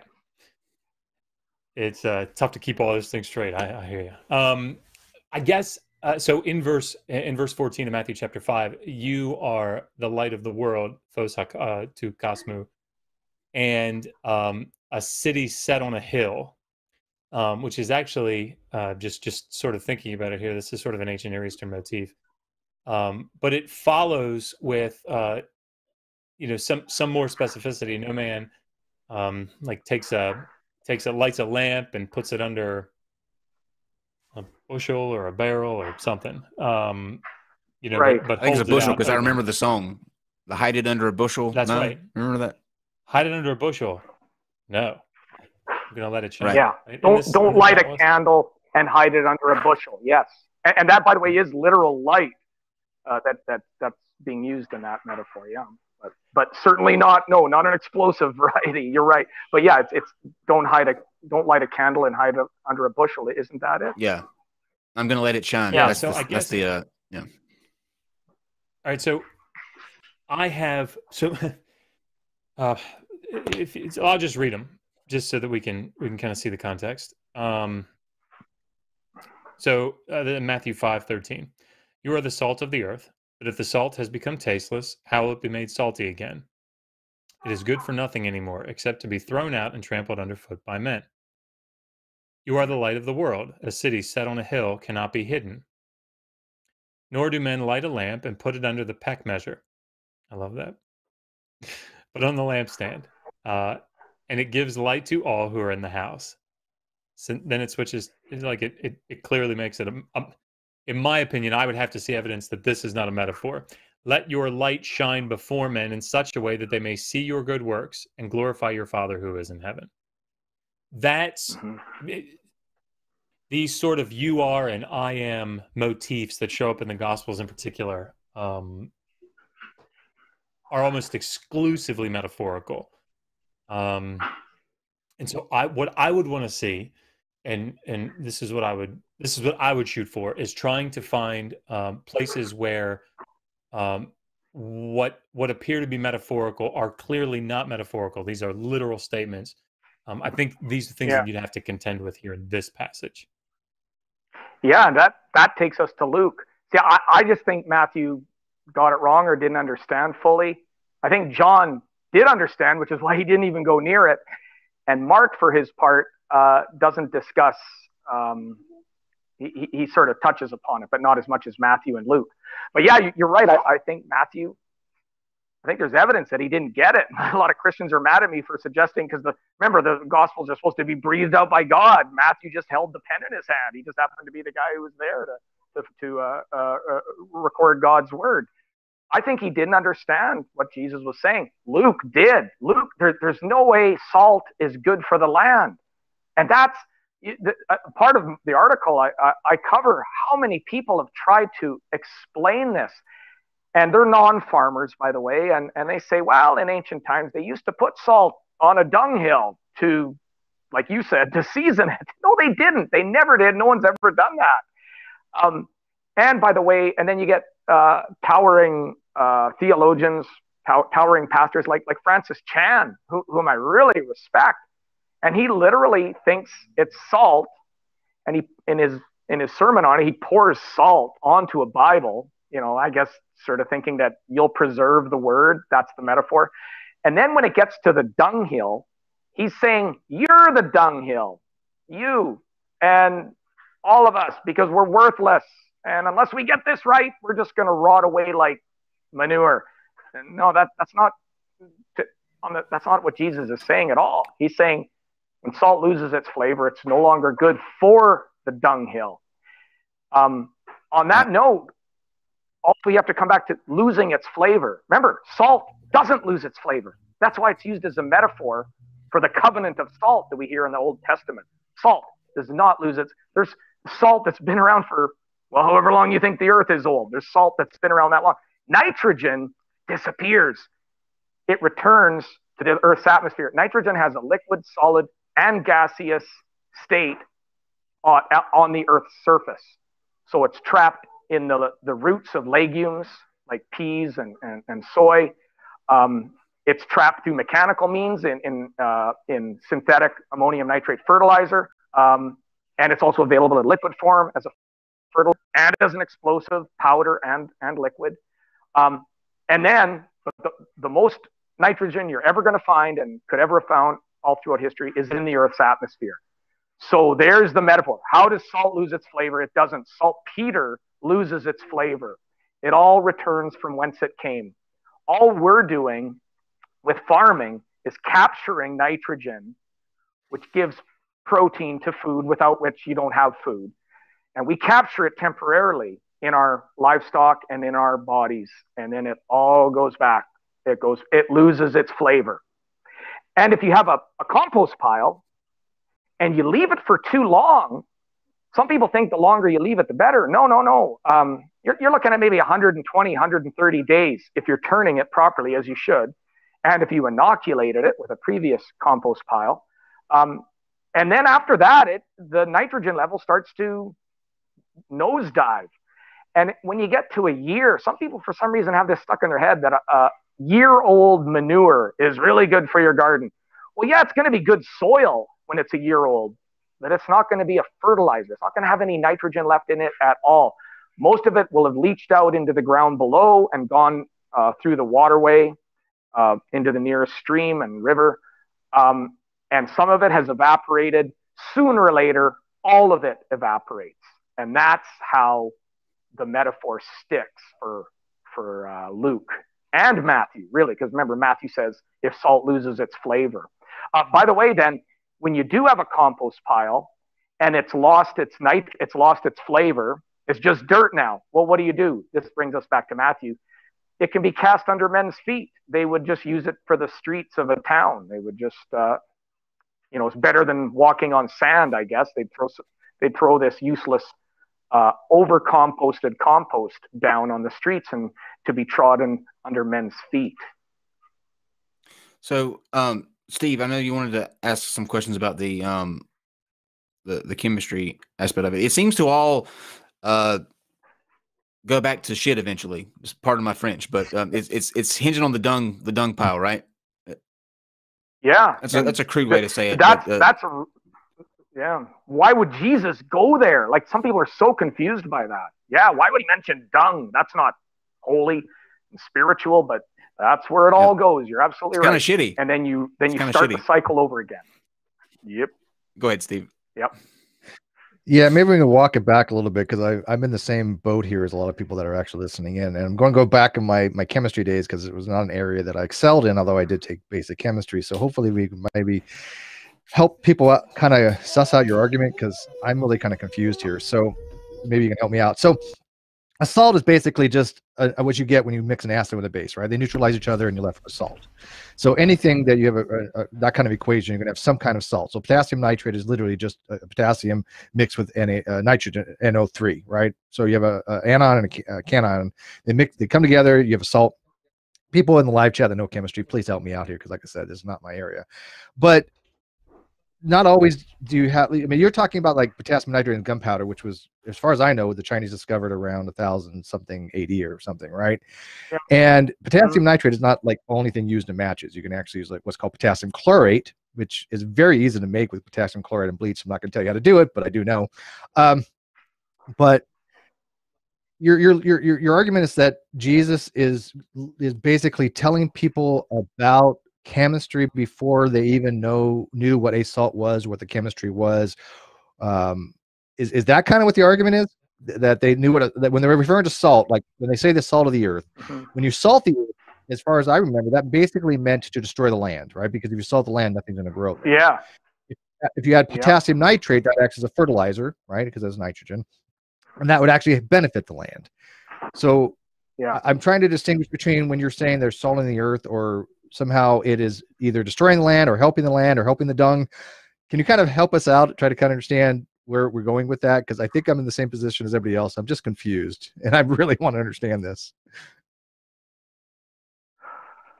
Well, again, now now we get was Jesus predicting something, as you said, uh, China in a thousand A.D. Some, by the way, the the, the common uh, the convention, if you will, is like uh, 14th century, or sorry, 13th century maybe in China, and then a century later, a century and a half later, it made its way to Europe.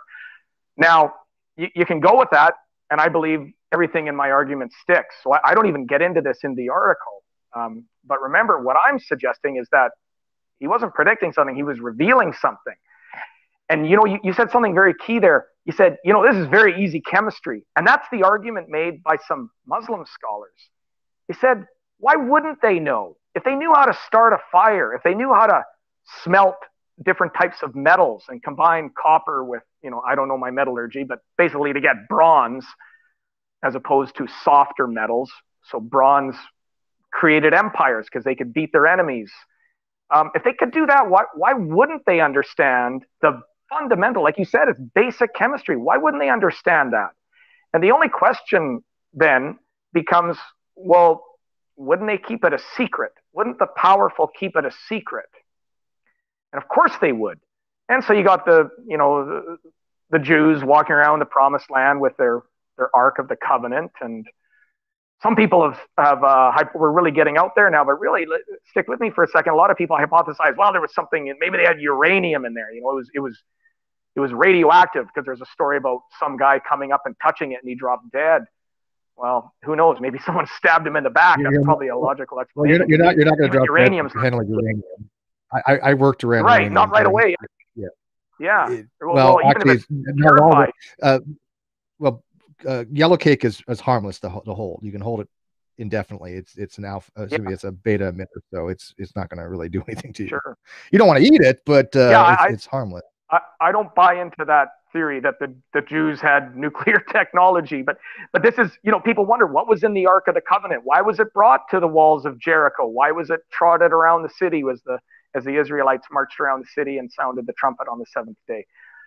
Well, it, it contained saltpeter. This was their military secret. This is how uh, a small band of a what you know a, a million or two million people ended up becoming the richest empire in the world under King David and then his son Solomon. They they were they were it. They were they were the uh, they were uh, they were the Washington D.C.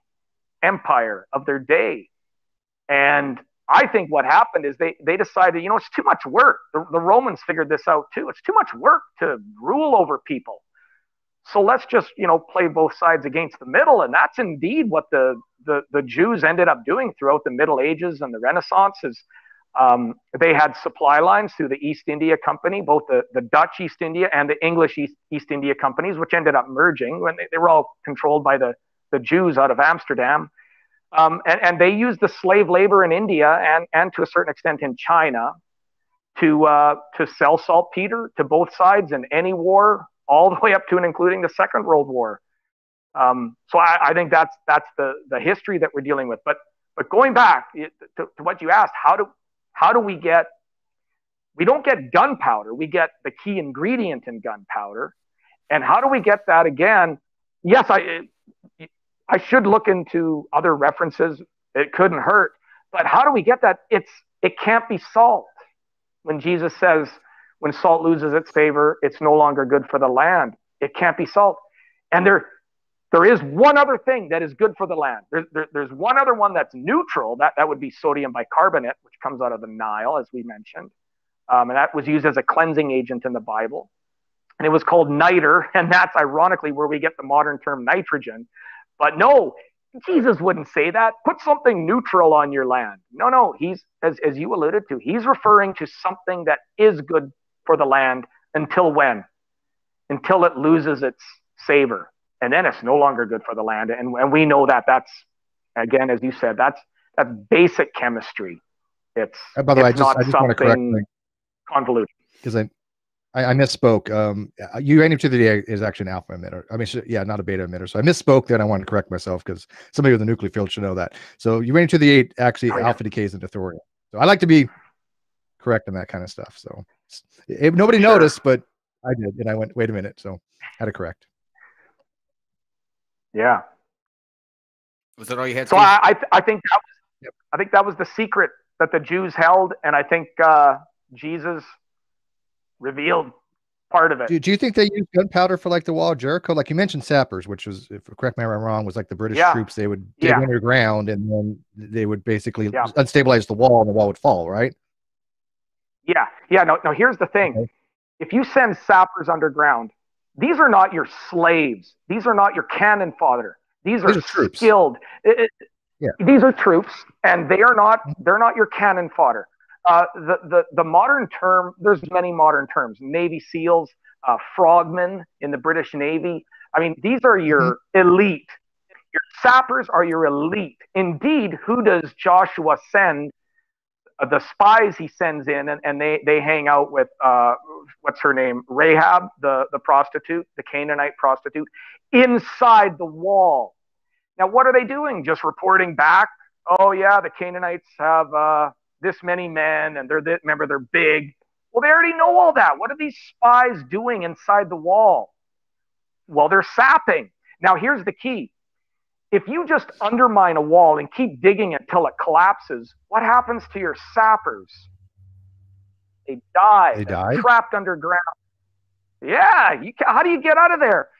The only way to have effective sappers is to dig the, the hole and plant explosives and get the hell out of there and then light the fuse.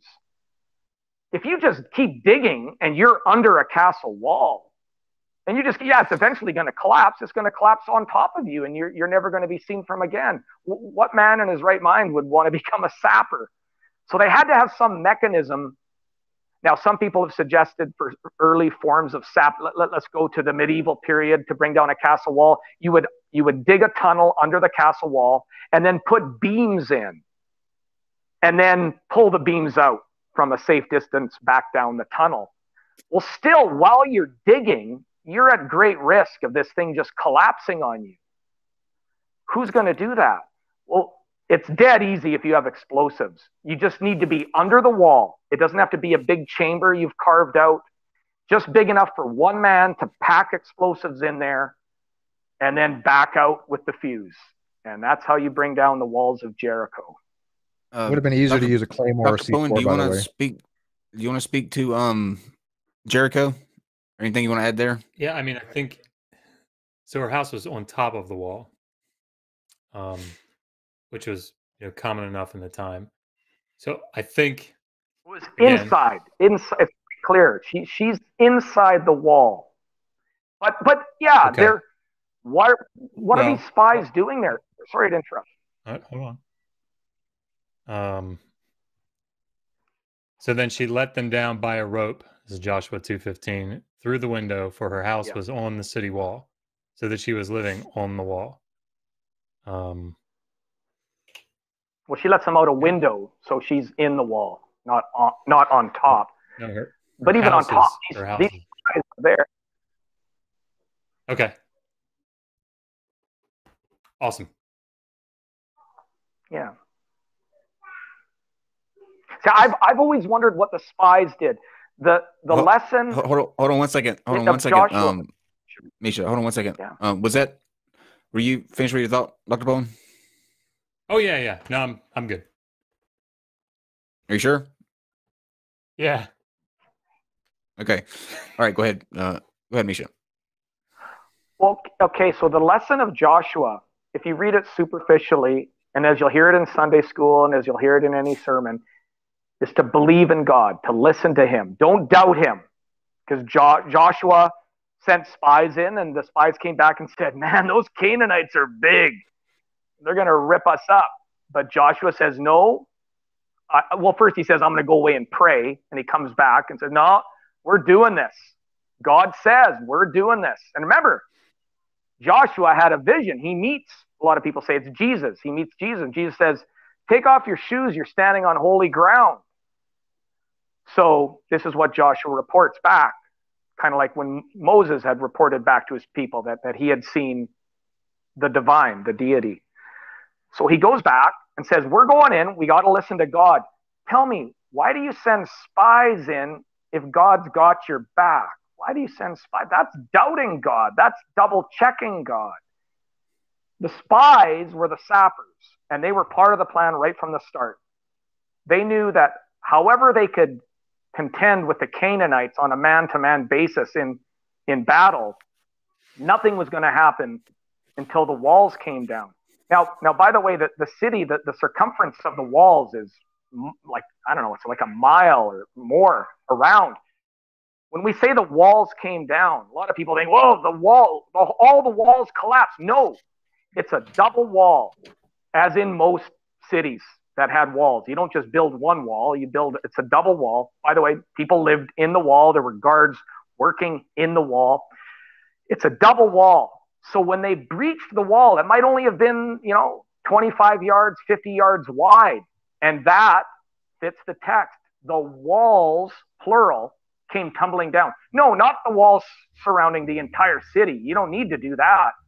You just need to breach the wall. And since there were two walls, the, the, the text fits. It's uh, the walls came tumbling down.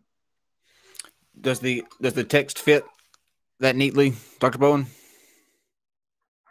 Um, yeah, I'm actually just kind of looking through. Um, so, I mean, sorry, I'm just looking through some of the Hebrew. Um, Fun. it definitely uses. Sorry, it definitely uses a bet. So, um, yeah, I'm gonna I'm gonna say it. It could mean in. Yeah. hmm Um, I I I just I don't know if it's just me. It it may be just me, but I don't. With whatever salt that he's he's talking about using, or maybe it's you know maybe it is the gunpowder um, thing. What? How does this affect things? Like, what does this change from, um, you know, a either a Christian's perspective? How does it alter your Hmm. faith if you're if you've you know believed Yeah. it to mean that you're the actual salt of the the earth like what are the ramifications for the change that that you see in this text like how is that going to affect everybody's day to day knowing that it means something different than what they thought before Well, the, the common assumption is that to be a good Christian, you're basically a pacifist. Um, so, you know, turn the other cheek. But as I remind uh, my kids, you only have two cheeks. Jesus doesn't say just to keep letting someone slap you. And by the way, if someone slaps your face when he refers to that, that's sort of a metaphor for, you know, if it's a if it's an insult, you know, you don't have to get into a big fight over it. If someone slaps your face, that's like calling you a name. Just turn the other cheek. Say, yeah, so what? So what if I'm ugly? Can't you do better than that? You know. and then same when he says to carry a Roman centurion's armor for him. He says the law of the day was if if you met a Roman centurion walking the same way as you on a road, he could make you carry his armor, which was quite heavy, for one mile. Well, Jesus says carry it two. He doesn't say carry it three or four or five. So uh, the the limit here, the limit that I think a lot of people forget, and yet we we trot off to war all the time and kill people, which is breaking the commandments. Um, the the limit is that self defense. I think that's what Jesus is referring to. And then the other chapter from Luke that buttresses this is where he tells his disciples the night before he dies, he says, How many swords do we have? And this again is in, I think it's in Matthew and Luke, but Luke, Luke goes further with it. How many swords do we have? And he says, Any of you that don't have a sword, take your scrip and your garment and sell it and get one. Now, elsewhere it says, He who lives by the sword will die by the sword. But living by the sword is being like a mercenary. You're living by your sword. But if you're just a common Joe, if you're a, you know, a doctor like Luke was, or a tax collector like Matthew was, and, and you carry a sword, well, you're not living by the sword. That's self defense. And the night before Jesus dies, he knows he's dying, but he doesn't want any of his disciples to, to die because then it's the whole thing's over. The whole thing was for no reason. And he so he tells them quite clearly, if you don't have a sword, now would be a good time to get one. And people have grappled with this. I've read so much on it and have argued with some people. They say it's not a sword. Look at the translation. It's a knife. Okay, well, why does Jesus tell them to go get a knife? Why? So they can carve fruit while they're out spreading the good news? It's a sword, and we know that because then the following night, uh, Peter tries to, well, he does, he cuts a guard's ear off, which you can't do with a knife. You could do that with a sword, though, if you swipe it. And Jesus glues the guard's ear back on. And that's when he rebukes him and says, Don't do that. If you live by the sword, you'll die by the sword. Because in that moment, Peter is trying to live by the sword, or more accurately, help Jesus live by the sword. Of course, Jesus knows he's going to die. But more to the point, um, that's not Peter's role at that point. The, the, so the reason saying, Peter needed a sword and Jesus had told him to get one was for, for later. You're saying Jesus is instructing sure people to to to go out and be I'm pretty, offensive. I'm pretty, wait one second. I'm pretty sure you can cut somebody's ear off with a knife. I'm pretty sure that's a fact. Yeah, you yeah. You'd have to grab it though, right? You'd have to grab the ear and, Not necessarily. and then where's my ear? And, Depends on the knife, I guess. But, nice, yeah. But is that what you're saying that, that Jesus is instructing people uh, instead of to instead of just being defensive to or no, be, be pacifist? You're, period. You, but yeah, right. You're saying that instead yeah. of being a pacifist, though, he's instructing. Yeah. These are ways that he's instructing people to be uh, to fight back if provoked. Yeah, yeah. They're they're going to be out spreading the word. We know Peter was attacked many times. He was attacked for spreading the word, but he was also just attacked. I mean, the disciples they're out they're out in no man's land, you know, and there's uh, highwaymen and vagabonds and all sorts of ne'er do wells. And yeah, yeah, Jesus knows it's going to be rough, and and he knows they're going to face reprisals from the Jewish community. But but yeah, again, he just knows it's it's not going to be pretty out there, and they should defend so themselves. He, so here's my question: If if that's true, why does he use for for where people get the the passive um, answer? they get it out of you know turn the other cheek um you know uh yeah. it, this should be an eye for an eye it's very clear and you're able to take that t- that takeaway is very evident from when he says turn the other cheek that means you know don't don't fight back don't you know do, why would he use such um i mean that saying the salt of the earth that that uh, verse it's very hard to parse out that he's telling you to be defensive not not passive. So where he's very clear and it's very simple in one, the other one takes some sussing out. If if we are to you know go with with your interpretation of it, why wouldn't he just be clear in um, you know if if someone uh, messes with you, you mess back. Like it, it seems too much of a there's there's too many hoops to jump through to get the defensive line out of that. Just reading it offhand. Yeah, I would agree that it's not nothing is straightforward. It's that's why we have four gospel writers, for instance, you know, to, to get it straight. So for the, the people who've who've um, criticized me for daring to suggest, as I said, that Matthew didn't quite get it right, even though he's my favorite gospel writer of the four. Um, for the, for those people, I say, well, then if, if God just breathed it out perfectly, why do we have four gospels? And actually, we have five or six. You know, you, you start counting Paul's writings and Peter's and James. Why do we have all that? Why? I mean, you could lay out the Christian doctrine on one page of full scap, couldn't you? And even if you wanted to complicate it with things that I'm throwing in, okay, two or three pages, 10 maybe. But we don't. We got a whole New Testament. And pretty clear from Jesus and Paul, we're not supposed to throw out the old one either. It's one contiguous Bible. So, so yeah, you're, you're absolutely right. Thing is just clear cut. Hey, hey, Christians, defend yourselves. Don't take crap from anybody. You know, yeah, turn the other cheek. Don't needlessly engage why, in battles. But when it, when it, when why can't it be that simple, though, Mischa? Yeah, why can't it be that oh, simple? I, yeah, I don't. It seems I don't, like I don't know. That, that'd be the yeah, way to go. That's a great you know? question. You want everybody on the same page, I think.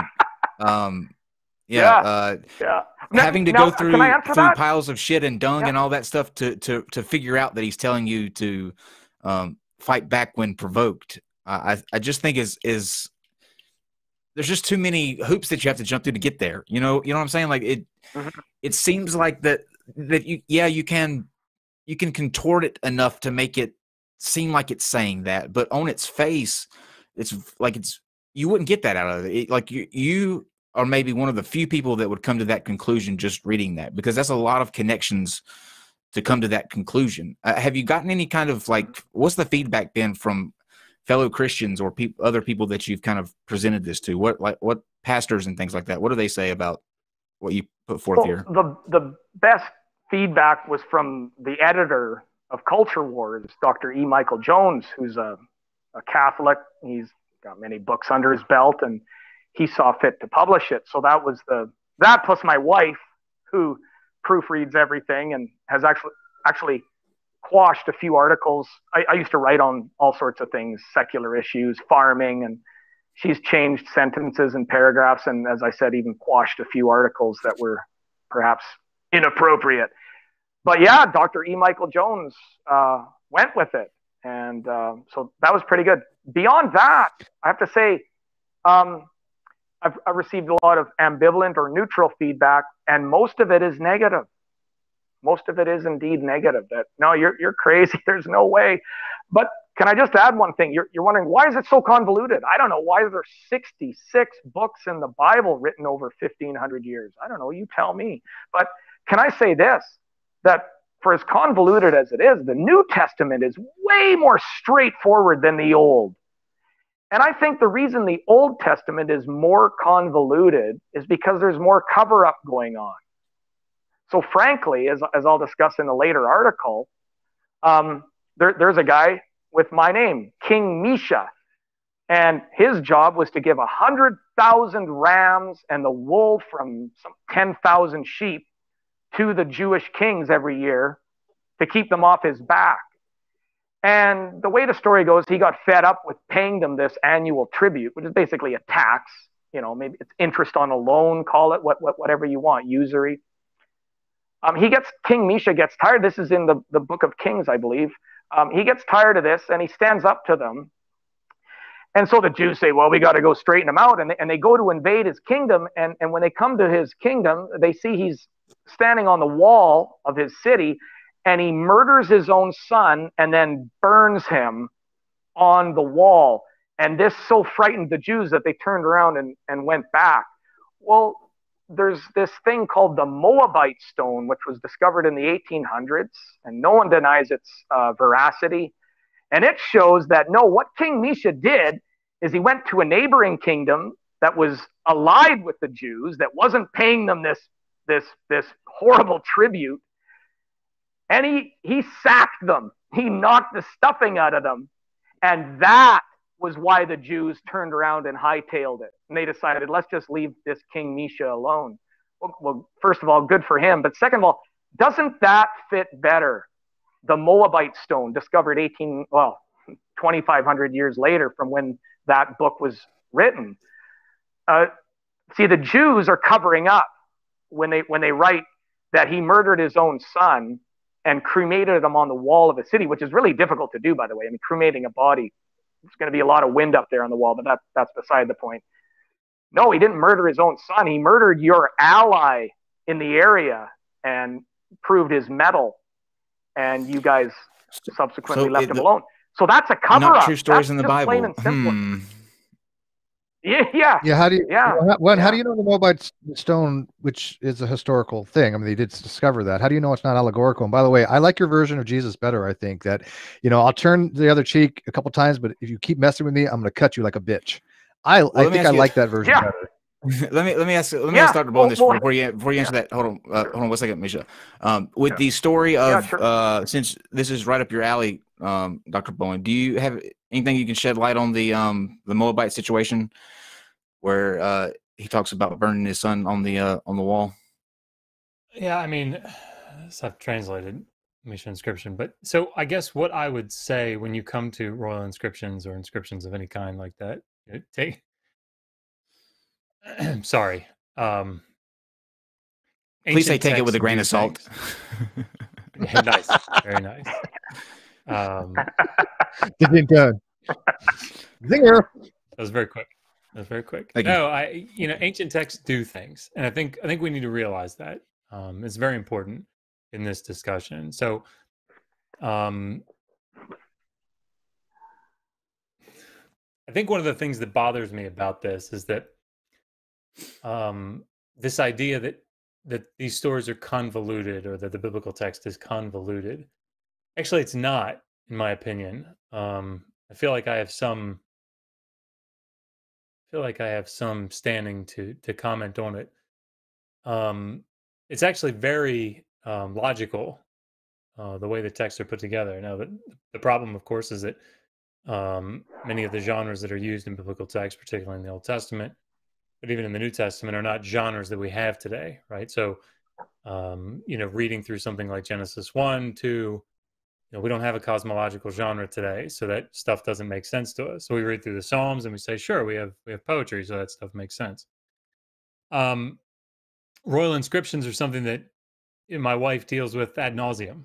Uh, she's writing her dissertation on it, and you know, you have to be able to mine uh, those texts um, in a way that is productive.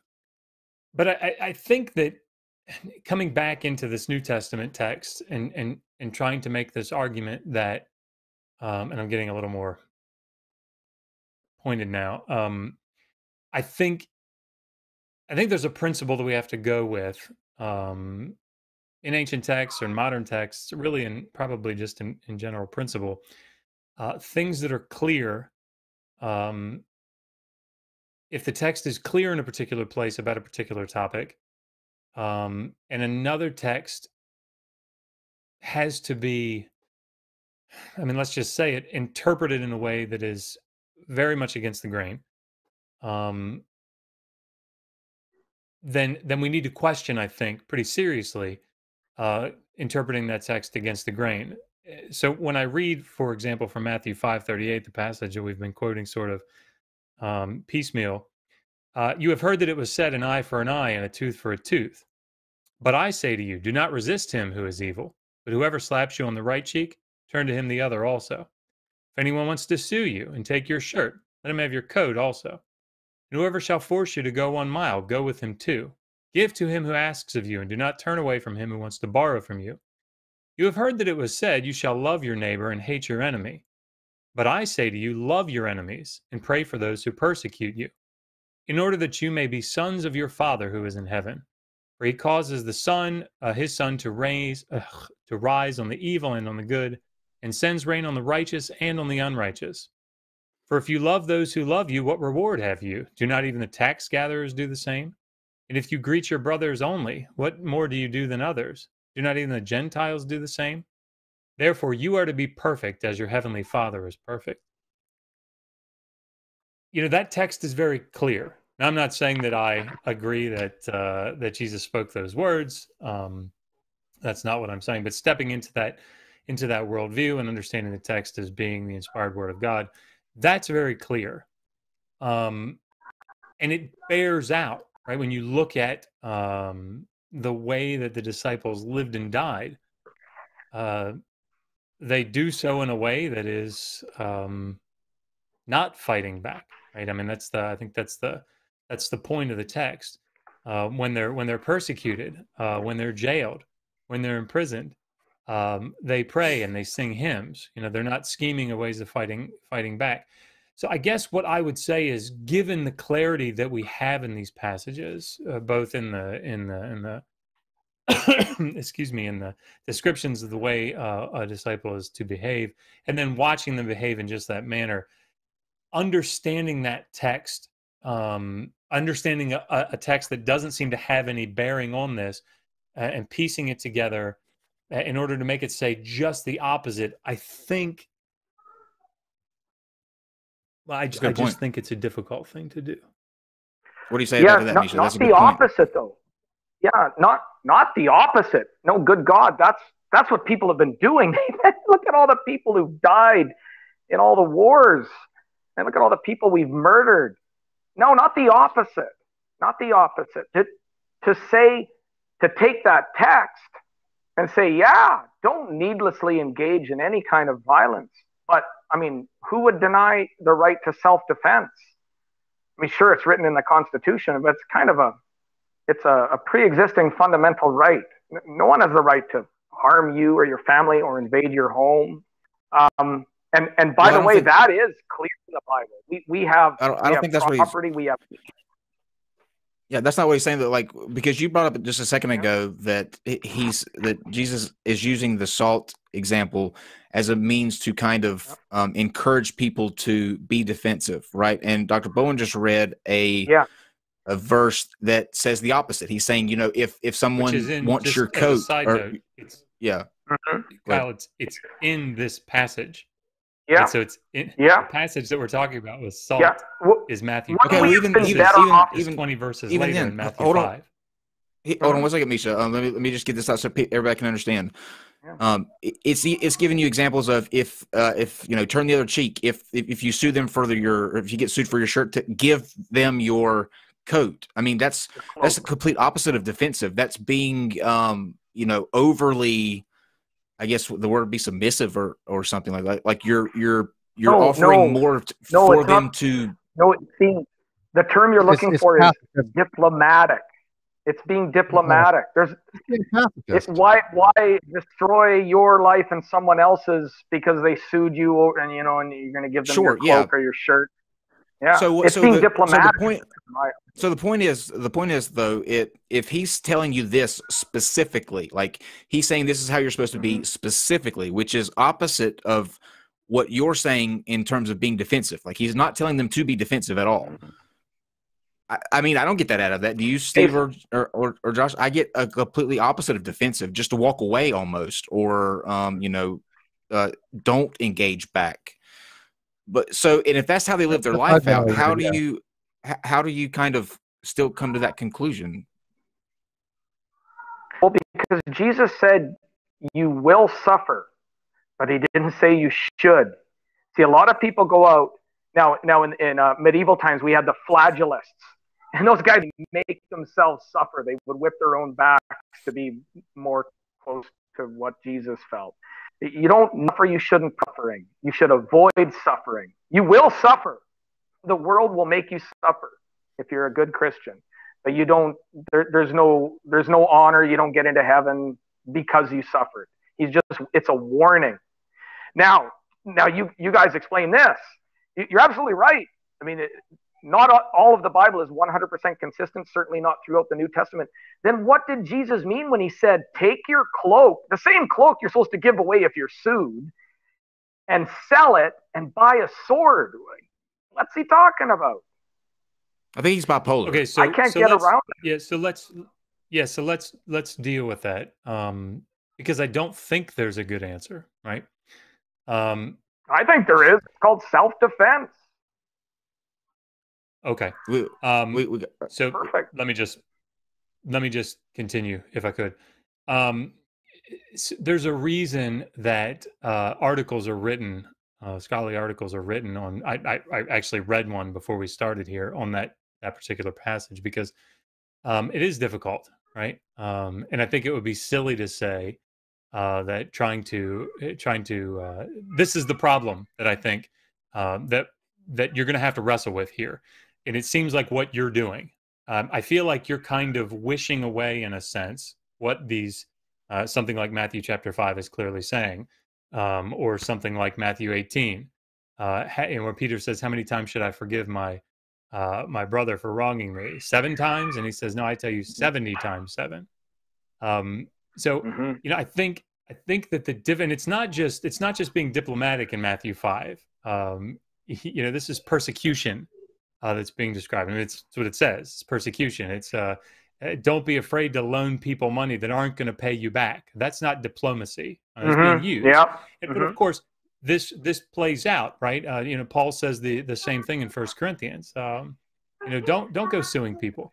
And the point, uh, Mhm. I think, is is that tumultuous times are coming, right? And um, how does one uh, how does one in these tumultuous times? But this this is sorry, but this is apocalyptic genre, right? This is you're going to go through hellish times. That's the point.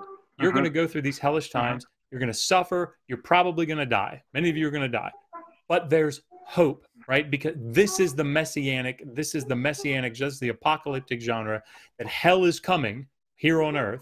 But if you can, in fact, those that die inside that apocalyptic time, right? This this time of great tribulation, those that suffer and die are the ones that are going to be honored the most.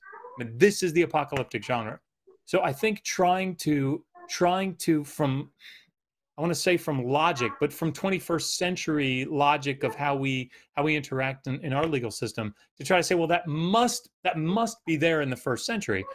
I think is to um, to to put something back on the text in spite of what the text is saying. Now, I will say, and I'll stop with this, but I will say that um, that uh, Jesus' statement uh, about uh, buying a sword um, is difficult. Yeah. I think there are a couple of things that we have to um, take into consideration. And uh, again, I don't think this gives us an answer, uh, but they, they have two swords, and he says it's enough, right? Uh, and then, of course, uh, Peter, that's- Peter draws the sword and, and goes to do this attack, and just what you know, what are you doing? So, I mean, um, I think that the reason that so many articles have been written on this is because it's so difficult, right? And the reason it's so difficult is because Luke is so unbelievably clear. Matthew is so unbelievably clear about this. Um, uh, I don't want to say pacifistic, but yeah, I mean that's that's what it is. Um, uh, don't It- fight back.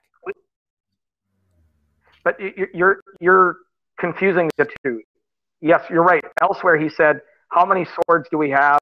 And what do they say? We have one. He goes, "That's enough."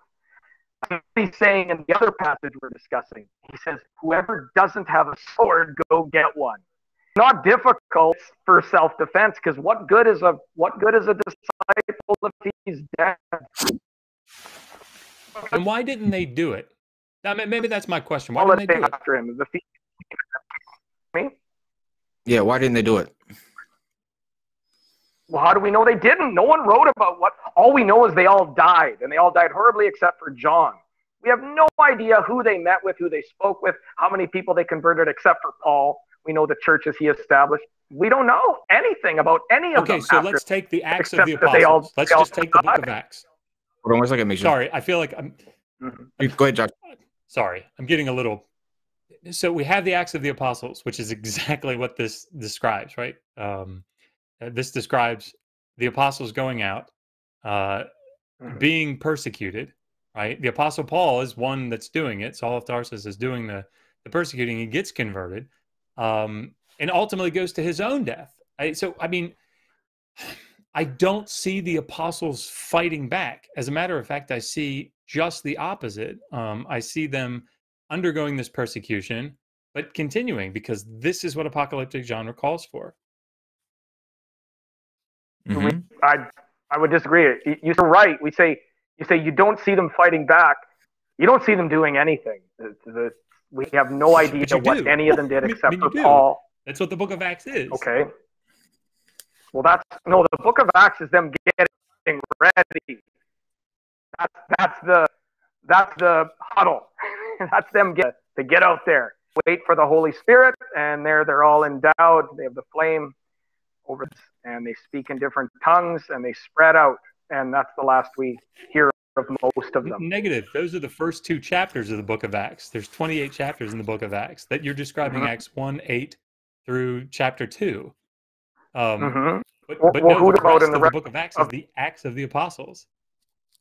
Right. And we start hearing new characters like Timothy and Barabbas. We don't hear what Matthew and, and well, we only one we hear of is John, who went the Isle of Patmos. We don't hear what any of them did, any of the 12 or 11. Okay. I'm, I'm going to encourage you to read we Acts. Don't. I would encourage you to read the book of Acts. Who, who do we hear about? Who, who do we hear about from the, the disciples? Besides, we hear about the Paul isn't a disciple. I, I, I, who do, I would just encourage you to read the mm-hmm. book of mm-hmm. Acts. Just just read the book of Acts. Okay, now Jesus didn't tell the apostles to get sword. Sure, he wouldn't have minded if they did, if you stick with my theory. But he told the disciples, whoever doesn't have a sword, get one. That's not difficult if it's self-defense. And we have no idea what any of them did.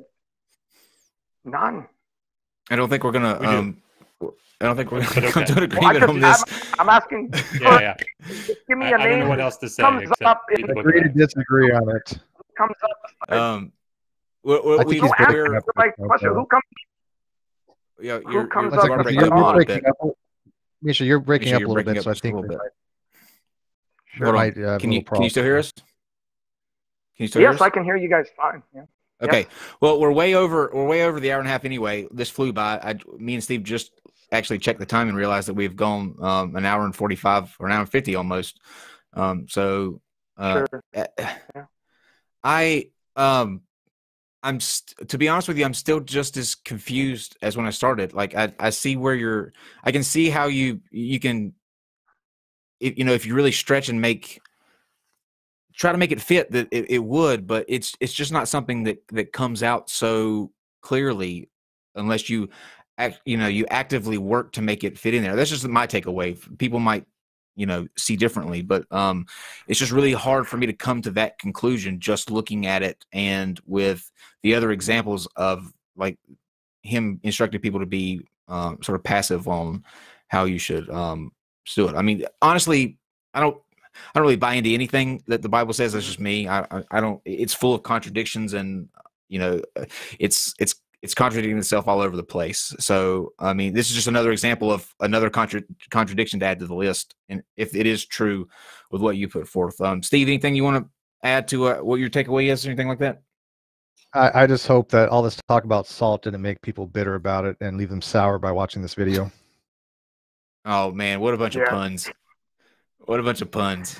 I like it. Okay, um, I, I already used my grain of salt pun. I had that one. I was going to use that one, um, but I've already used it, so I can't.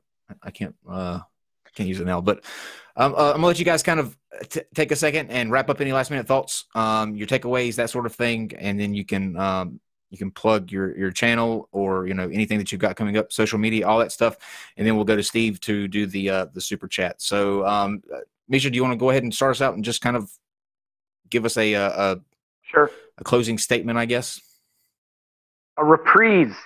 Yeah, sure. It's yes. you're absolutely right. I mean, to to connect all these things, uh, I won't deny that it, it it's not prima facie evidence. It's not just one page on foolscap.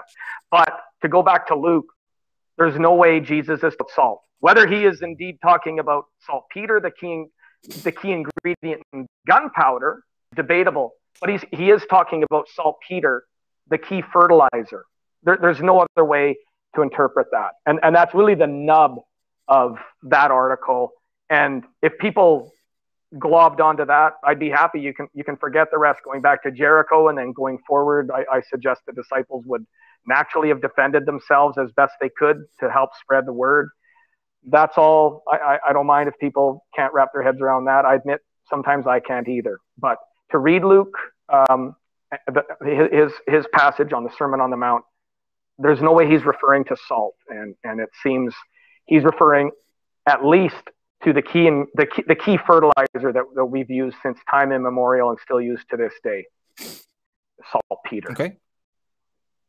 Okay. All right. And Dr. Bowen, um, eh, well, let me ask you this first, Mischa. Where can people find you to, uh, like, if they, let's say they have any questions, anything like that, that they want to follow up with you with, um, where can they do that at?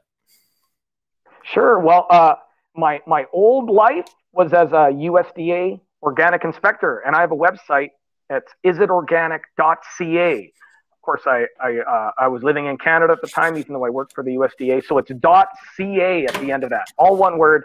Isitorganic.ca, and I've got a contact page there. So nothing there relates to this, uh, although I have delved into biblical issues a few times in talks I've given and, and some articles. But no, that's just a good way to contact me.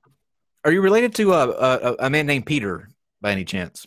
No, no. See, Okay. in Russia, Popov is like Jones. It's a common name. And no, Got it. Peter, uh, is he is he dead now? God rest his soul. Yeah, he wasn't. No, he's uh, still back. He's back it at it. Is He's he? back at it again. Yeah, he's Oh back my- on TV again. Oh no. In Australia, boy, those actually, guys he's- never he- die. he- they put him back. They put him on TV in, in Australia. But um, what about Oh, the? boy. does your family own a lucrative uh vodka line? Yeah, vodka. That's the other one I, I get quite often. Again, it's, Okay. it's a common name, and that one is spelled with a V at the end instead of two F's. I have. A. I, Yeah. I was getting ready to say. I, I blame. very I- good. if, if that was the case, I blame your family for uh, for many of uh, um, strange wake ups. But um, since it's not you, then yeah. Uh, so we don't have to go into that. All right, Dr. Bowen, um, can you uh, give us your takeaway and uh, where people can uh, digital Hammurabi and all that stuff? Shill, shill, shill. Uh, well, I just wanted to say thank you guys, Kyle and Steve, Mischa. I appreciate uh, really all of this, and it's been a lot of fun. And you know, I think the the one thing that I want to say at the end of all of this is that the last thing on earth that I ever want to do, particularly given what Megan and I do, is uh, try to hamper or put down somebody's uh, drive to do research. Right, and I, I I really applaud, and I mean that wholeheartedly. I applaud the research that you're doing. I think it's uh, difficult stuff to do. It takes a lot of thinking and and trying to reason things. And I, I think that's fantastic. All, all that I would say is moving forward, um, take seriously. Um, I, I, I, I don't mean this in like a, a demeaning way. I, I mean this in an honest way. Um, take seriously the critique and the criticism and the suggestions of people that uh, that are in the field. So many people don't do that, and they just kind of keep going forward. And one of the things that can happen, and I've seen it, is that you, you know uh, somebody might be going this direction with their research and they they take the advice and they they steer just a little bit this way they change something just a little bit and they find that's the path forward and it's it can be very similar to the path that you were going um, but it, it just takes but if you don't if you don't heed that you know suggestion or critique and you just keep going this way you may not find that path forward anyway um, i just I, I i appreciate what you're doing i really really do and uh, i I honestly mean, you know, no disrespect by any of this. Um, I think this is this has been great. So you can find our other uh, to plug our channel shamelessly. Um, you can find us at Digital Hammurabi on YouTube, um, and uh, we do all kinds of ancient Near Eastern and biblical stuff. I'll be on Aron Ra's channel tomorrow. Uh, it should be a lot of fun, and I'll be back here on Friday. So that should be interesting. Should be an interesting time. So thank you Yeah, bring your game. Bring your game uh, for uh, Hey. God bless you. for um, Thank what's you. his name? Ad- Adonis. Rael. What is it?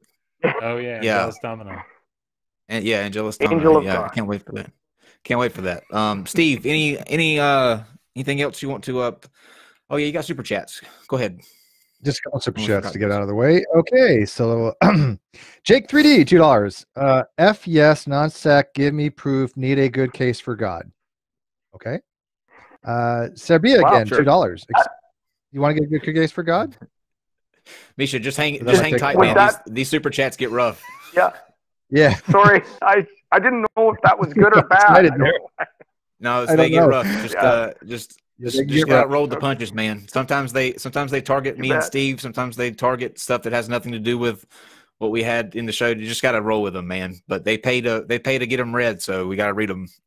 Go ahead, Steve. You bet. Uh, Serbia, two dollars. Excluding people, how does salt independently prove God? Again, Serbia, two dollars. Does Satan fall before or after creation? Um, one more from Serbia, After. two dollars after. After. Uh, after, okay. Uh, Serbia, two dollars. Salt plus li- uh, salt and light equals dualism minus spirit. Okay. That makes sense, Uh, Mischa. does it make? Are you a dualist, Mischa? Say it again. You're salt and No, light I- equals I like dualism, think- mind and spirit. But but Hmm. you do it here to Yeah, that's- Hegelian that's the dialectics, and you, you, you you like Hegel. Uh, I like Nobody that liked Hegel, theory of ideas, but yeah, Hegel was a rough guy. But Nobody liked she- Hegel. she's saying du- duality is, is the two metaphors. That's the mixed metaphor that I'm rejecting. I think. Yeah, Hegel didn't even like his own not- stuff. He was a very confused man. Okay, Justin James Human, five dollars. In Matthew, it says he cannot bring to peace to the world, but a sword, not a pacifist statement. Again, a you guys agree contradiction on though, that? because it, it, completely contradicts what he said about turning the other cheek, and um, you know that's, that's what I Yep. mean. Like it, it- there's there's so many examples of him saying one thing and then turning around and doing the exact opposite of what he said before. I mean, it's just so con- like He overturned the wanna buy- tables and the money changers, right? And he made a whip buy- made of you know sticks. Right. Right. If you want to, if, if you want people to come to you, this is my, this is what I think ultimately disproves everything. If you ultimately want the the um, the most amount of people that you can get to come to you as a god or a, a, that want them to worship you, you leave clear instructions and not instructions that are so open to interpretation or so contradictory that you break out into thousands of different sects of it. You, methodists baptists catholics uh you know unitarian it just the list goes on and on. Why cause all that drama when you can just leave a b c d e in a in a pamphlet? It doesn't have to be a book. It doesn't have to be Ah. 66 verse uh, books of the bible. It can be a pamphlet like a track this is how you get to heaven. Step one step two step three step four and then close it. Boom be done. Well, they God tried that with the Ten Commandments, and the Israelites couldn't follow it, so had something different, and that So that would maybe imply that he's Make it even worse. infallible. Let's Yeah. make it even worse. Yeah. Let's start I with mean, 10, come but then we'll add 613 mitzvahs to it. It's Okay. just- i- if, if you're God, I mean, you can you can that's leave a something to- clear book. You know what I mean? Like, don't do this, do this. Step A, B, C, and D, and everything else is just so inter- open to interpretation. Like right now, tonight we had a discussion on whether he was ultimately a uh, telling you to be defensive or be passive when confronted, and all of us are right because we we can all pull examples of where he's being uh, telling people to be defensive and where he's telling people to be passive. And it just doesn't make any sense to be that to be so confusing if you're god. You don't have to be that confusing. Like you're you know what you would know what to say. Anyway go ahead steve. I, I, I'm I am literally convinced that just about any argument when it comes to the Bible, you can find passages to support and passages to have evidence against. I mean, yeah No. Dr. Bowen, would you agree that for most things that seems to be the case? Absolutely. No question. Okay, because I mean, it, and I think that is leads to a lot of confusion, and I think that does lead to a lot of denominational things because some people latch on to things that they like and go, okay, I'm going to take this, but I'm going to reject this, and the other people go, no, no, no, no, I'm going to take this and reject that, and that's how you end up with all these different denominations. But let's Yeah. get through the last two super chats. Um, Echidnu Five, thank you, my friend. Um, by the way, I'm going to put a shout out to him. If you haven't watched Echidnu Five's videos, you're missing out. yeah I mean, they're very good they're awesome. and they're funny They're they're hilarious Yeah, the dude is actually hilarious. I mean, he he. I don't Yeah. know why he doesn't have more subs. I think his stuff's a riot. Um, he he says say? you're a nice man without a doubt. Um, just saying, or just wanted to say, I was older than you when I dropped this belief. Read the whole book from front to back. It might change your mind. Hmm. I didn't think he was that old. Can you find that was a kid? Like like in he his doesn't, he doesn't sound that old No, he doesn't at all. Hmm. Uh, Verisantium, one dollar. Thank you. Uh, Ver- Verata Ser- Verata Serum. I think that's how you pronounce it. Jake 3D again, two dollars. Gunpowder goes poof, but no poof in salt. Any salt. Okay. I think it's salt. Gun, gunpowder more goes bang. It goes more poof if you add sugar to it. Uh, sugar, if I remember, slows down the reaction or something, and basically that's how you make a smoke bomb or stink bomb. Um, There was one more salt- that came in. Saltpeter, sulfur, charcoal, and sugar. Um, and let's see, maybe fresh. Since there's any more that came in. One more that came in. That, that was the last one. Oh, the the gunpowder goes poof, but no I just read that. Yeah, I just read that one. in salt. Any salt? That's from Jake 3D. Yeah, Yeah, he that. says gunpowder goes poof, but no proof in salt. Any salt. Yeah, the one I just read. Oh, did you? Gunpowder. Okay. Yeah, gun, three, Jake 3D two dollars. Gunpowder goes proof. I was no proof. I was responding to I was responding to some I was responding to something in the chat and completely t- uh, zoned out. Sorry No about that. Well, Jake 3D, you got Welcome yours read world, read pal. four times. You got yours read four times. So It was a really Congrats. good comment, Jake 3D. Yeah. Okay. All right. Um, thank you both for being here. Um, although I, you. you know, like I said, I, I don't, I don't quite get the connection. It was an interesting conversation nonetheless to have. I think, um, and I think that it's you know having these kind of conversations is important, even if we don't fully understand. I you know that that particular side. At least we can try to walk away with you know learning something new and um, getting a, a, a better feel for where people are coming from. It was certainly interesting, and I think you have to bend a lot to get to get there. But I can see you know in a in an odd way after you do all that bending where you're coming from. But I just think it's it just would it would be more simple, you know, if it were if it were supposed to mean that it would be more straightforward. But that's just my my personal opinion. Um, there may be people that you know this resonates with, and that's really what you're going for anyway. So um, thank you both for coming on and um, having an interesting uh, talk. Tomorrow we have uh, oh, I we ha- we do have uh, Misha coming back tomorrow. The other Misha, Doctor Misha. See, I be back thought that, I, tomorrow. and I knew that too. That's why I was confused. I didn't know what was going on.